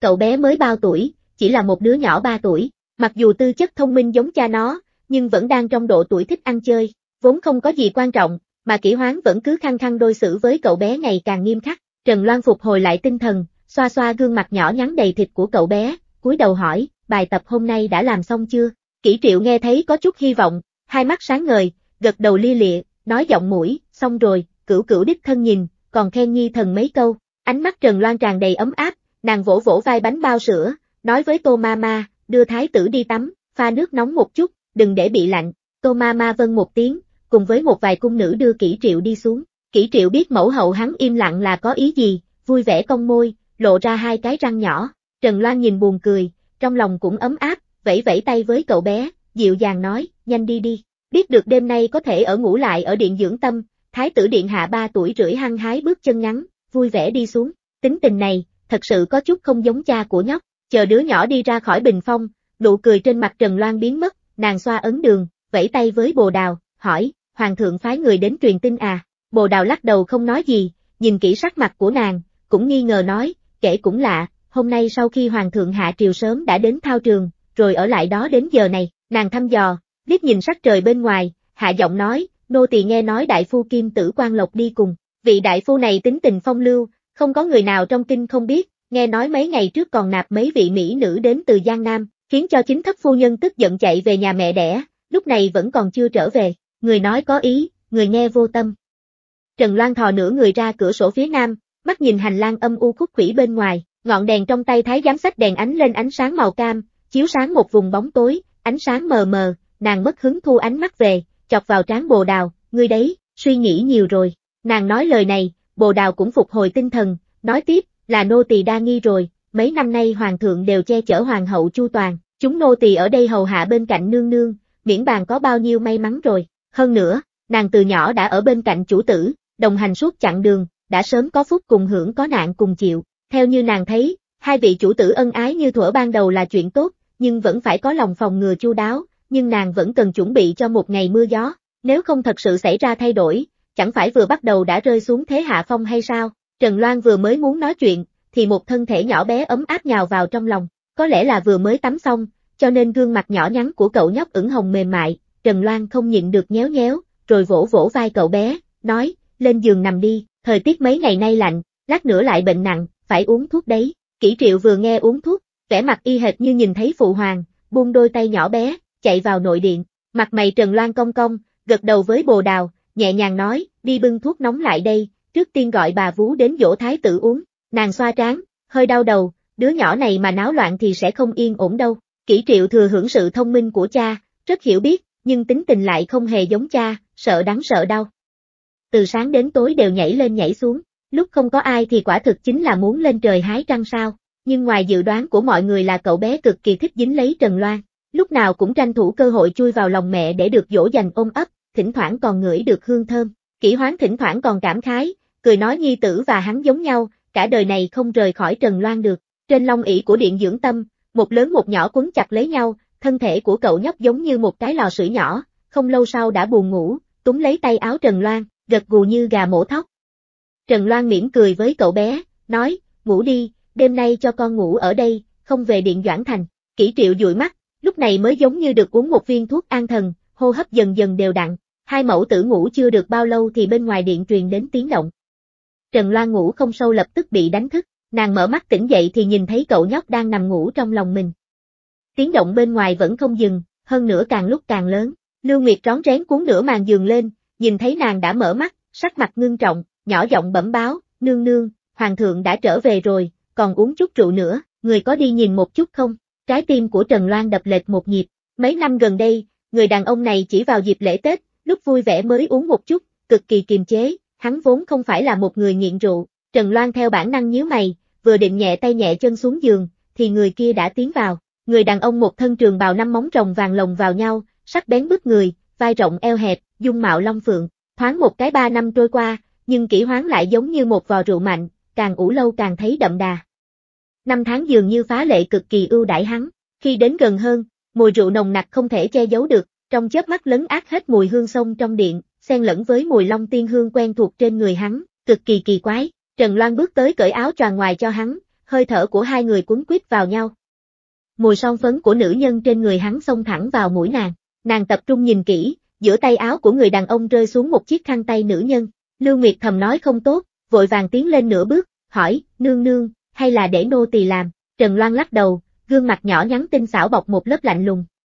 Nàng nhìn người đàn ông phong lưu lãng tử trước mặt, giống như đang nhìn một người xa lạ, một lúc sau mới nhỏ giọng hỏi, đã đi đâu? Kỷ hoán bước lên phía trước áp sát vào người nàng, cọ cái cầm lạnh lẽo lên chiếc cổ ấm áp của nữ nhân, lẩm bẩm oán giận, uống hai ly với con cáo già ôm tự tầng, suýt nữa bị trúng kế rồi. Người bình thường ổn trọng bình tĩnh, chỉ cần nhíu mày một cái đã khiến chư thần sợ hãi, lúc quyến rũ ngược lại rất nghiêm túc, hắn say mềm, vòng qua eo nàng, gọi liên tiếp nhũ danh của nàng ba lần, không ai trả lời hắn. Cùng lúc đó, kỷ triệu cũng bị giọng nói của hắn đánh thức, dụi dụi mắt ngồi dậy, mất một lúc mới tiêu hóa được cảnh tượng trước mắt, câu đầu tiên mở miệng hết sức thất vọng, sao phụ hoàng lại trở về rồi, lúc này kỷ hoán mới để ý trong điện còn có một bóng đèn nhỏ. Hắn lập tức sụ mặt, nhíu mày lạnh lùng nói, kỷ triệu, ai cho con ngủ trong điện dưỡng tâm, bao tuổi rồi mà còn suốt ngày dính lấy mẫu hậu con vậy hả, sau đó, hắn trực tiếp hướng ra bên ngoài nói, nhũ mẫu đâu? Vào ông thái tử về điện Doãn Thành nghỉ ngơi, lời vừa nói ra, nhũ mẫu lập tức đi vào, Trần Loan nhắm mắt hít một hơi thật sâu, nhướng mắt lên, lạnh lùng nói, lui xuống đi, nhũ mẫu đang tiến thoái lưỡng nan. Lúc này kỹ hoán có chậm chạp cỡ nào cũng cảm nhận được mùi thuốc súng trong lời nói của nàng, góc cạnh lạnh lùng cứng trắng mềm mại hơn một chút, nhỏ giọng nói, tức phụ nhi, sao vậy, Trần Loan không muốn nói nhiều với một con quỷ rượu, nàng vẫy tay kỹ triệu, Loan Loan qua đây, chúng ta đến điện Doãn Thành, chú ý đến câu từ mà nàng nói, mắt kỹ triệu sáng lên, ngoan ngoãn chạy đến dùng đôi bay thịt của mình ôm lấy Trần Loan, lúc đi ngang qua kỹ hoáng, mũi cậu bé khẽ động, sau đó ánh hắt hơi ghét bỏ mở miệng, trên người phụ hoàng có mùi gì vậy, e ngại sắc mặt của phụ hoàng thật sự rất xấu, thái tử điện hạ có trực giác nhạy bén đem hai chữ thật hôi đã đến đầu lưỡi nuốt xuống, chỉ có cơ thể nhỏ nhắn vững vàng đứng ở bên cạnh Trần Loan, hùng dũng oai vệ khí phách hiên ngang thúc giục, mẫu hậu, chúng ta nhanh đi thôi, đợi lát nữa đêm khuya, đi trên đường đụng phải gì đó, nhi thần sẽ đau lòng. Cuối cùng trong lòng Trần Loan cũng cảm thấy thoải mái hơn một chút, nàng cúi người xoa xoa cái đầu nhỏ của kỹ triệu, không thèm liếc mắt nhìn đến người đàn ông đang nhíu mày suy nghĩ. Một lớn một nhỏ cứ như vậy đi ra khỏi điện dưỡng tâm, đêm tối, cung nữ sách đèn đi phía trước, ánh sáng màu cam nhìn ấm áp mà trong suốt, phản chiếu hai bóng người một cao một thấp, chợt có con quạ trên cành cây bị giật mình tỉnh giấc, bay phành phạch ngang qua đỉnh đầu bọn họ, khung cảnh thưa thất bình thường này, hôm nay mỗi một mặt đều trở nên lạnh lẽo ảm đạm, Trần Loan đi hết cả quãng đường không nói lời nào, kỹ hoán thực sự không đi theo, bọn họ thành thân đã được 4 năm, đây là lần đầu tiên xảy ra chuyện này, Điện Doãn Thành được trang hoàng lộng lẫy, dù sao kỹ triệu cũng là một đứa trẻ, không hiểu chuyện giữa người lớn, ngủ say sưa, cơn buồn ngủ của Trần Loan giống như bị một chậu nước lạnh dội xuống, tan thành mây khói, nàng nín nhịn cũng không đi hỏi người đàn ông kia, chỉ lăn qua trở về hơn nửa canh giờ, cuối cùng tự mình lăn ra ngủ, đêm khuya nổi giá, ngọn lửa trên giá nến đông đưa. Mãi cho đến khi một đôi bàn tay to ôm hoàng thái tử đang ngủ say trên giường nhỏ giao cho nhũ mẫu, động tĩnh lớn một chút, ngọn nến giống như đã hoàn thành sứ mệnh của mình, hoàn toàn dập tắt, một cơ thể nóng như lửa nằm xuống bên cạnh.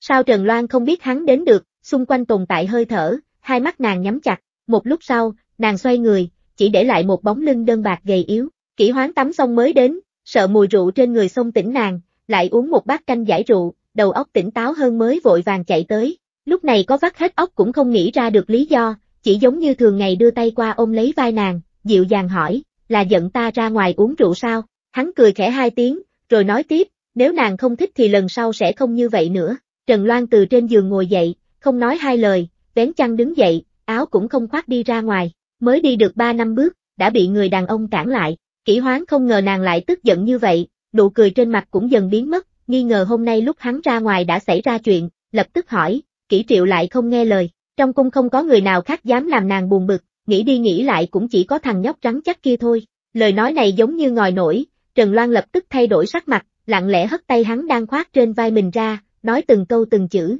nếu chàng thật sự không thích Loan Loan, nói thẳng ra là được.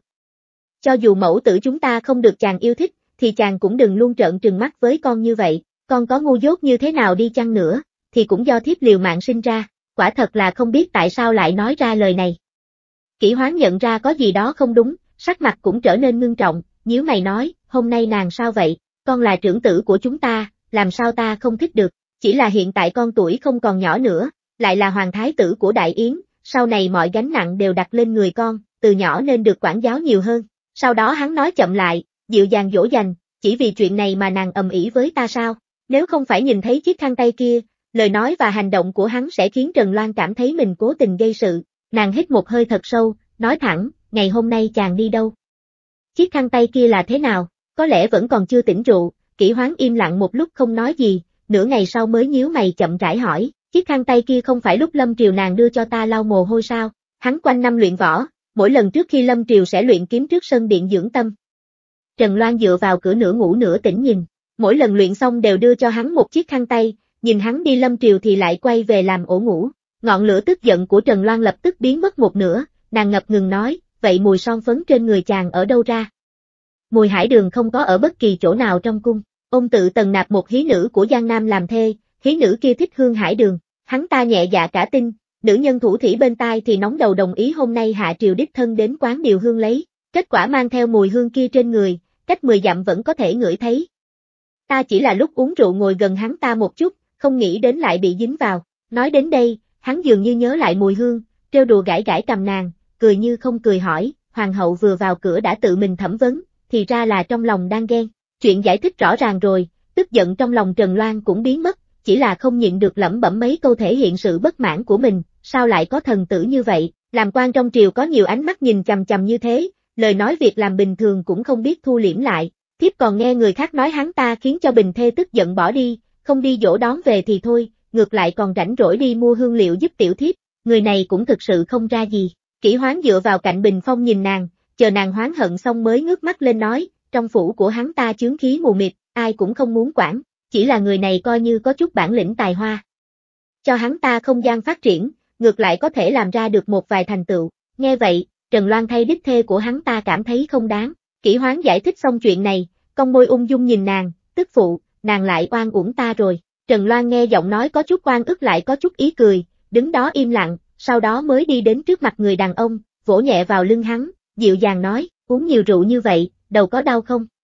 Chàng ngồi ở kia, thiếp giúp chàng xoa bóp, chăm sóc dịu dàng đưa đến cửa, miễn phí. Kỷ hoán biết rất rõ điều này, không nhanh không chậm ngồi xuống mép giường. Trần Loan đứng trước mặt hắn, đầu ngón tay mềm mại, mang theo một mùi hương thoang thoảng, nửa ngày sau mới nói hai câu, chuyện hôm nay, là thiếp quan uổng chàng, nhưng nếu có lần sau, chàng cũng phải cho người đến nói với thiếp một tiếng, vô duyên vô cớ khiến cho người ta nơm nớp lo sợ. Kỷ hoán quấn tóc nàng hai vòng, lười biến cười, giọng nói trầm thấp khàn khàn, hôm nay uống rượu hồ đồ rồi, không nghĩ đến lại xảy ra chuyện này. Trần Loan nhỏ giọng ừ một tiếng, mắt thấy lăn qua lăn lại một trận lớn như vậy, nàng buồn ngủ, che miệng ngáp, nhưng người đàn ông khẽ cong môi, không thả cho nàng đi ngủ, màn trướng đỏ mềm mại, gió lạnh cũng mang theo ám thị quyến rũ.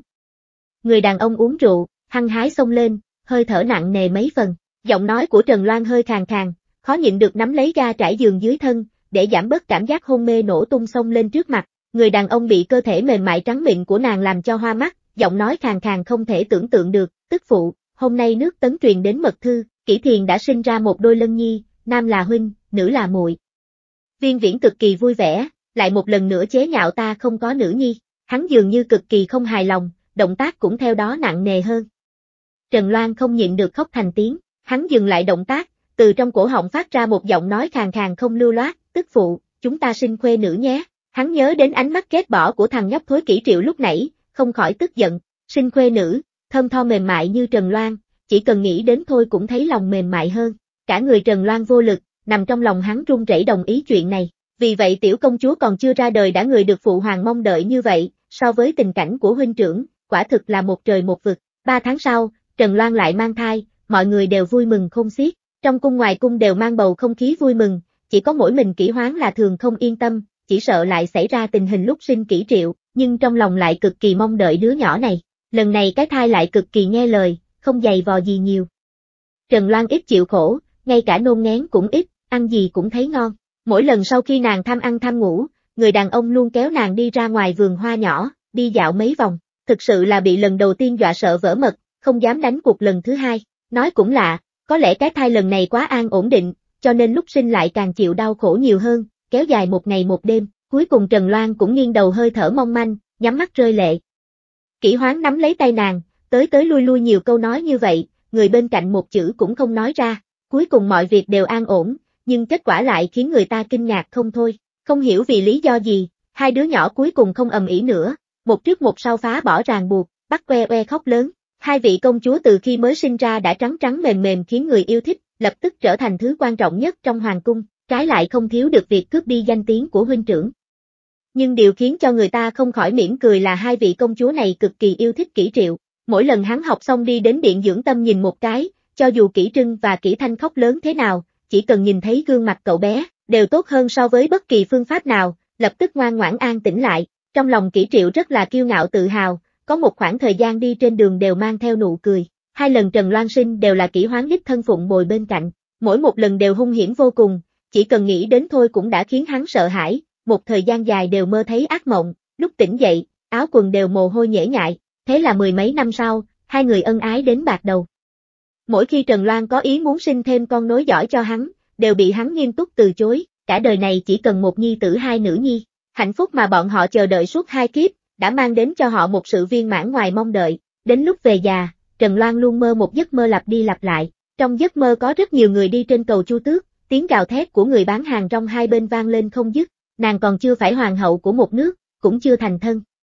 Trên mặt nàng che một khăn che mặt mỏng, chậm rãi đi đến giữa cầu. Lúc này bóng người xung quanh biến mất, nàng gạt mây mù sang một bên, nhìn thấy rất nhiều gương mặt quen thuộc, tay nàng bị người kia nắm chặt, nàng không hiểu quay đầu nhìn, kỹ hoán mi mục như họa, giống như trích tiên hạ phàm. Hắn dịu dàng vuốt tóc nàng, nói bên tai nàng lời yêu thương nghe hoài không chán, trong ánh mắt đều là sự nuông chiều, mà bên cạnh là kỹ thiền, thẩm giai giai lúc còn trẻ, một nhà tô kỳ, xa xa thêm chút nữa có thể nhìn thấy lão thái thái đã sớm mất, Trần Thân và Tô Nguyên chỉ có thể nhìn thấy trong bức họa. Một đời này, cứ như vậy kết thúc, chương 87, thoáng một cái hơn 10 năm trôi qua, đứa nhỏ lúc trước còn tập tễnh bước đi nay cũng đã lớn trưởng thành rồng phượng giữa loài người. Kỷ triệu lần đầu lộ ra phong thái, đã sớm đi theo Kỷ hoán học cách làm hoàng đế, bắt đầu từ từ gánh vác gánh nặng trên vai phụ thân, một mình phụ trách một mặt công việc, thậm chí sau này, trở thành cánh tay phải đắc lực không thể thiếu của Kỷ hoán. Ngược lại, hai công chúa sống tự do tự tại hơn rất nhiều, quen được nguyên thành đế chiều chuộng, muốn gì được nấy,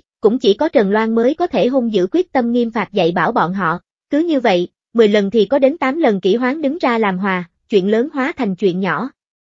Nhìn thấy thế, Trần Loan chỉ có thể dở khóc dở cười. Trong hai đứa nhỏ, kỹ trừng tính khí dịu dàng, tâm tư tinh tế, thường thích cầm sách ngồi dưới mái hiên đọc cả ngày. Tướng mạo không tinh xảo bằng muội muội kỹ thanh, nhưng ngược lại có có khí chất tao nhã thi thơ, bởi vì không thích náo nhiệt nên không hay gặp người lạ. Mà kỹ thanh trời sinh thân thể tốt, không ngồi yên được một phút, múa roi dài uy phong, thái độ làm người hào sản trượng nghĩa, thường xuyên cải trang thành nam nhân, lẻn ra khỏi cung gây chuyện.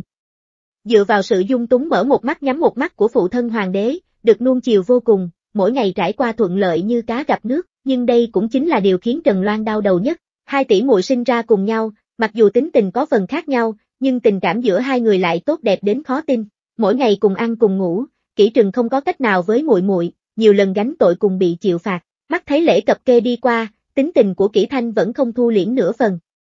Sau khi nàng lại gây sự một lần nữa, Trần Loan thực sự tức giận với hai người bọn họ. Mùa đông, trận tuyết đầu tiên trong năm, Trần Loan ôm bình nước nóng trong tay, tức giận đến mức thở không thông, nhấp một ngụm trà cho ướt họng, nghiêng đầu nói với đôi phụ tử đang đứng bên cạnh, đều là do chàng ngày thường dung túng con bé càng quấy, bây giờ càng ngày càng không biết trời cao đất rộng, cơ thể nàng không tốt, không chịu nổi tức giận.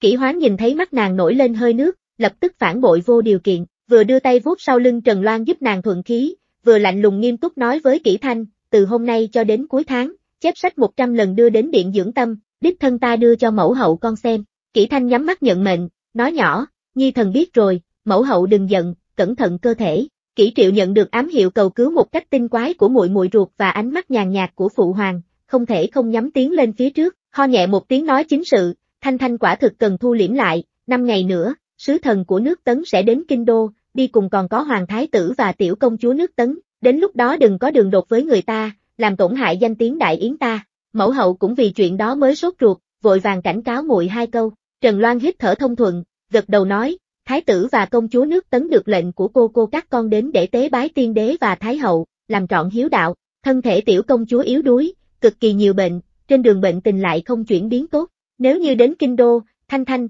con muốn làm càng hù dọa người ta, xem xem ta có giam giữ cấm túc con một năm hay không. Đúng lúc này kỹ trừng từ bên ngoài bước vào, đầu tiên là vái chào kỹ hoáng và Trần Loan, sau đó liếc nhìn tình hình trong điện, không khỏi cảm thấy đau đầu, tiếp đó cũng nhỏ nhẹ khuyên mấy câu, đến tối, kỹ hoán bóp vai cho Trần Loan, người đàn ông sau khi trải qua bao năm tháng mài dũa, sự sắc sảo tàn nhẫn từ trong xương của thời niên thiếu đã dần trở nên dịu dàng, giờ đây khoác lên mình trường bào màu xanh nhạt, trời quang trăng sáng, khí khái rõ rệt, dưới ánh trăng, ngay cả giọng nói cũng nhuốm màu trong trẻo, hắn cười hỏi, hôm nay nàng cần gì phải tức giận như vậy?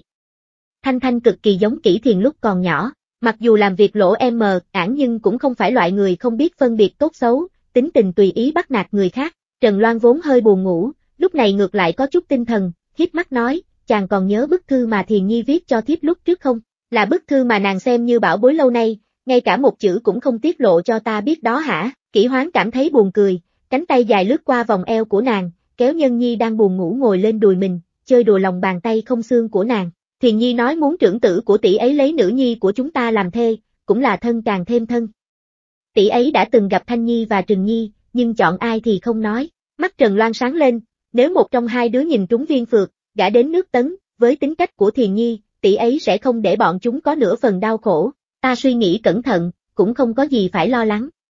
Dù sao con cháu tự có phúc của con cháu, chúng ta cũng không thể lúc nào cũng nhìn chầm chầm bọn nó, cô nương gia chung quy cũng phải gả cho người ta. Lời này vừa nói xong, kỹ hoán nhíu mày không đồng ý, hòn ngọc quý trong tay trẫm, nếu đại yến chọn phò mã, cho dù trời có sập xuống cũng có trẫm chống đỡ, cho dù sau này không có trẫm ở đây, cũng có huynh trưởng của các nàng, chọc thủng ông trời không có gì là không thể, sao phải nhất định đi đến nước khác nương nhờ của người ta, ai mà biết cái tên viên viễn kia có làm khó dễ tra tấn nữ nhi của trẫm hay không, Trần Loan cười như không cười nhìn hắn, đôi môi ửng đỏ khẽ cong lên, văn võ trong triều, con em thế gia, người nào có thể lọc vào mắt xanh của chàng hả? Với cái tính kén cá chọn canh của hắn và kỹ triệu, trên đời này không có người đàn ông nào xứng với kỹ thanh và kỹ trừng, nếu không biết, nói không trừ thật sự nuôi dưỡng trong cung thành bà cô luôn. Năm ngày sau, viên phượt và viên di đúng giờ đến kinh đô Đại Yến.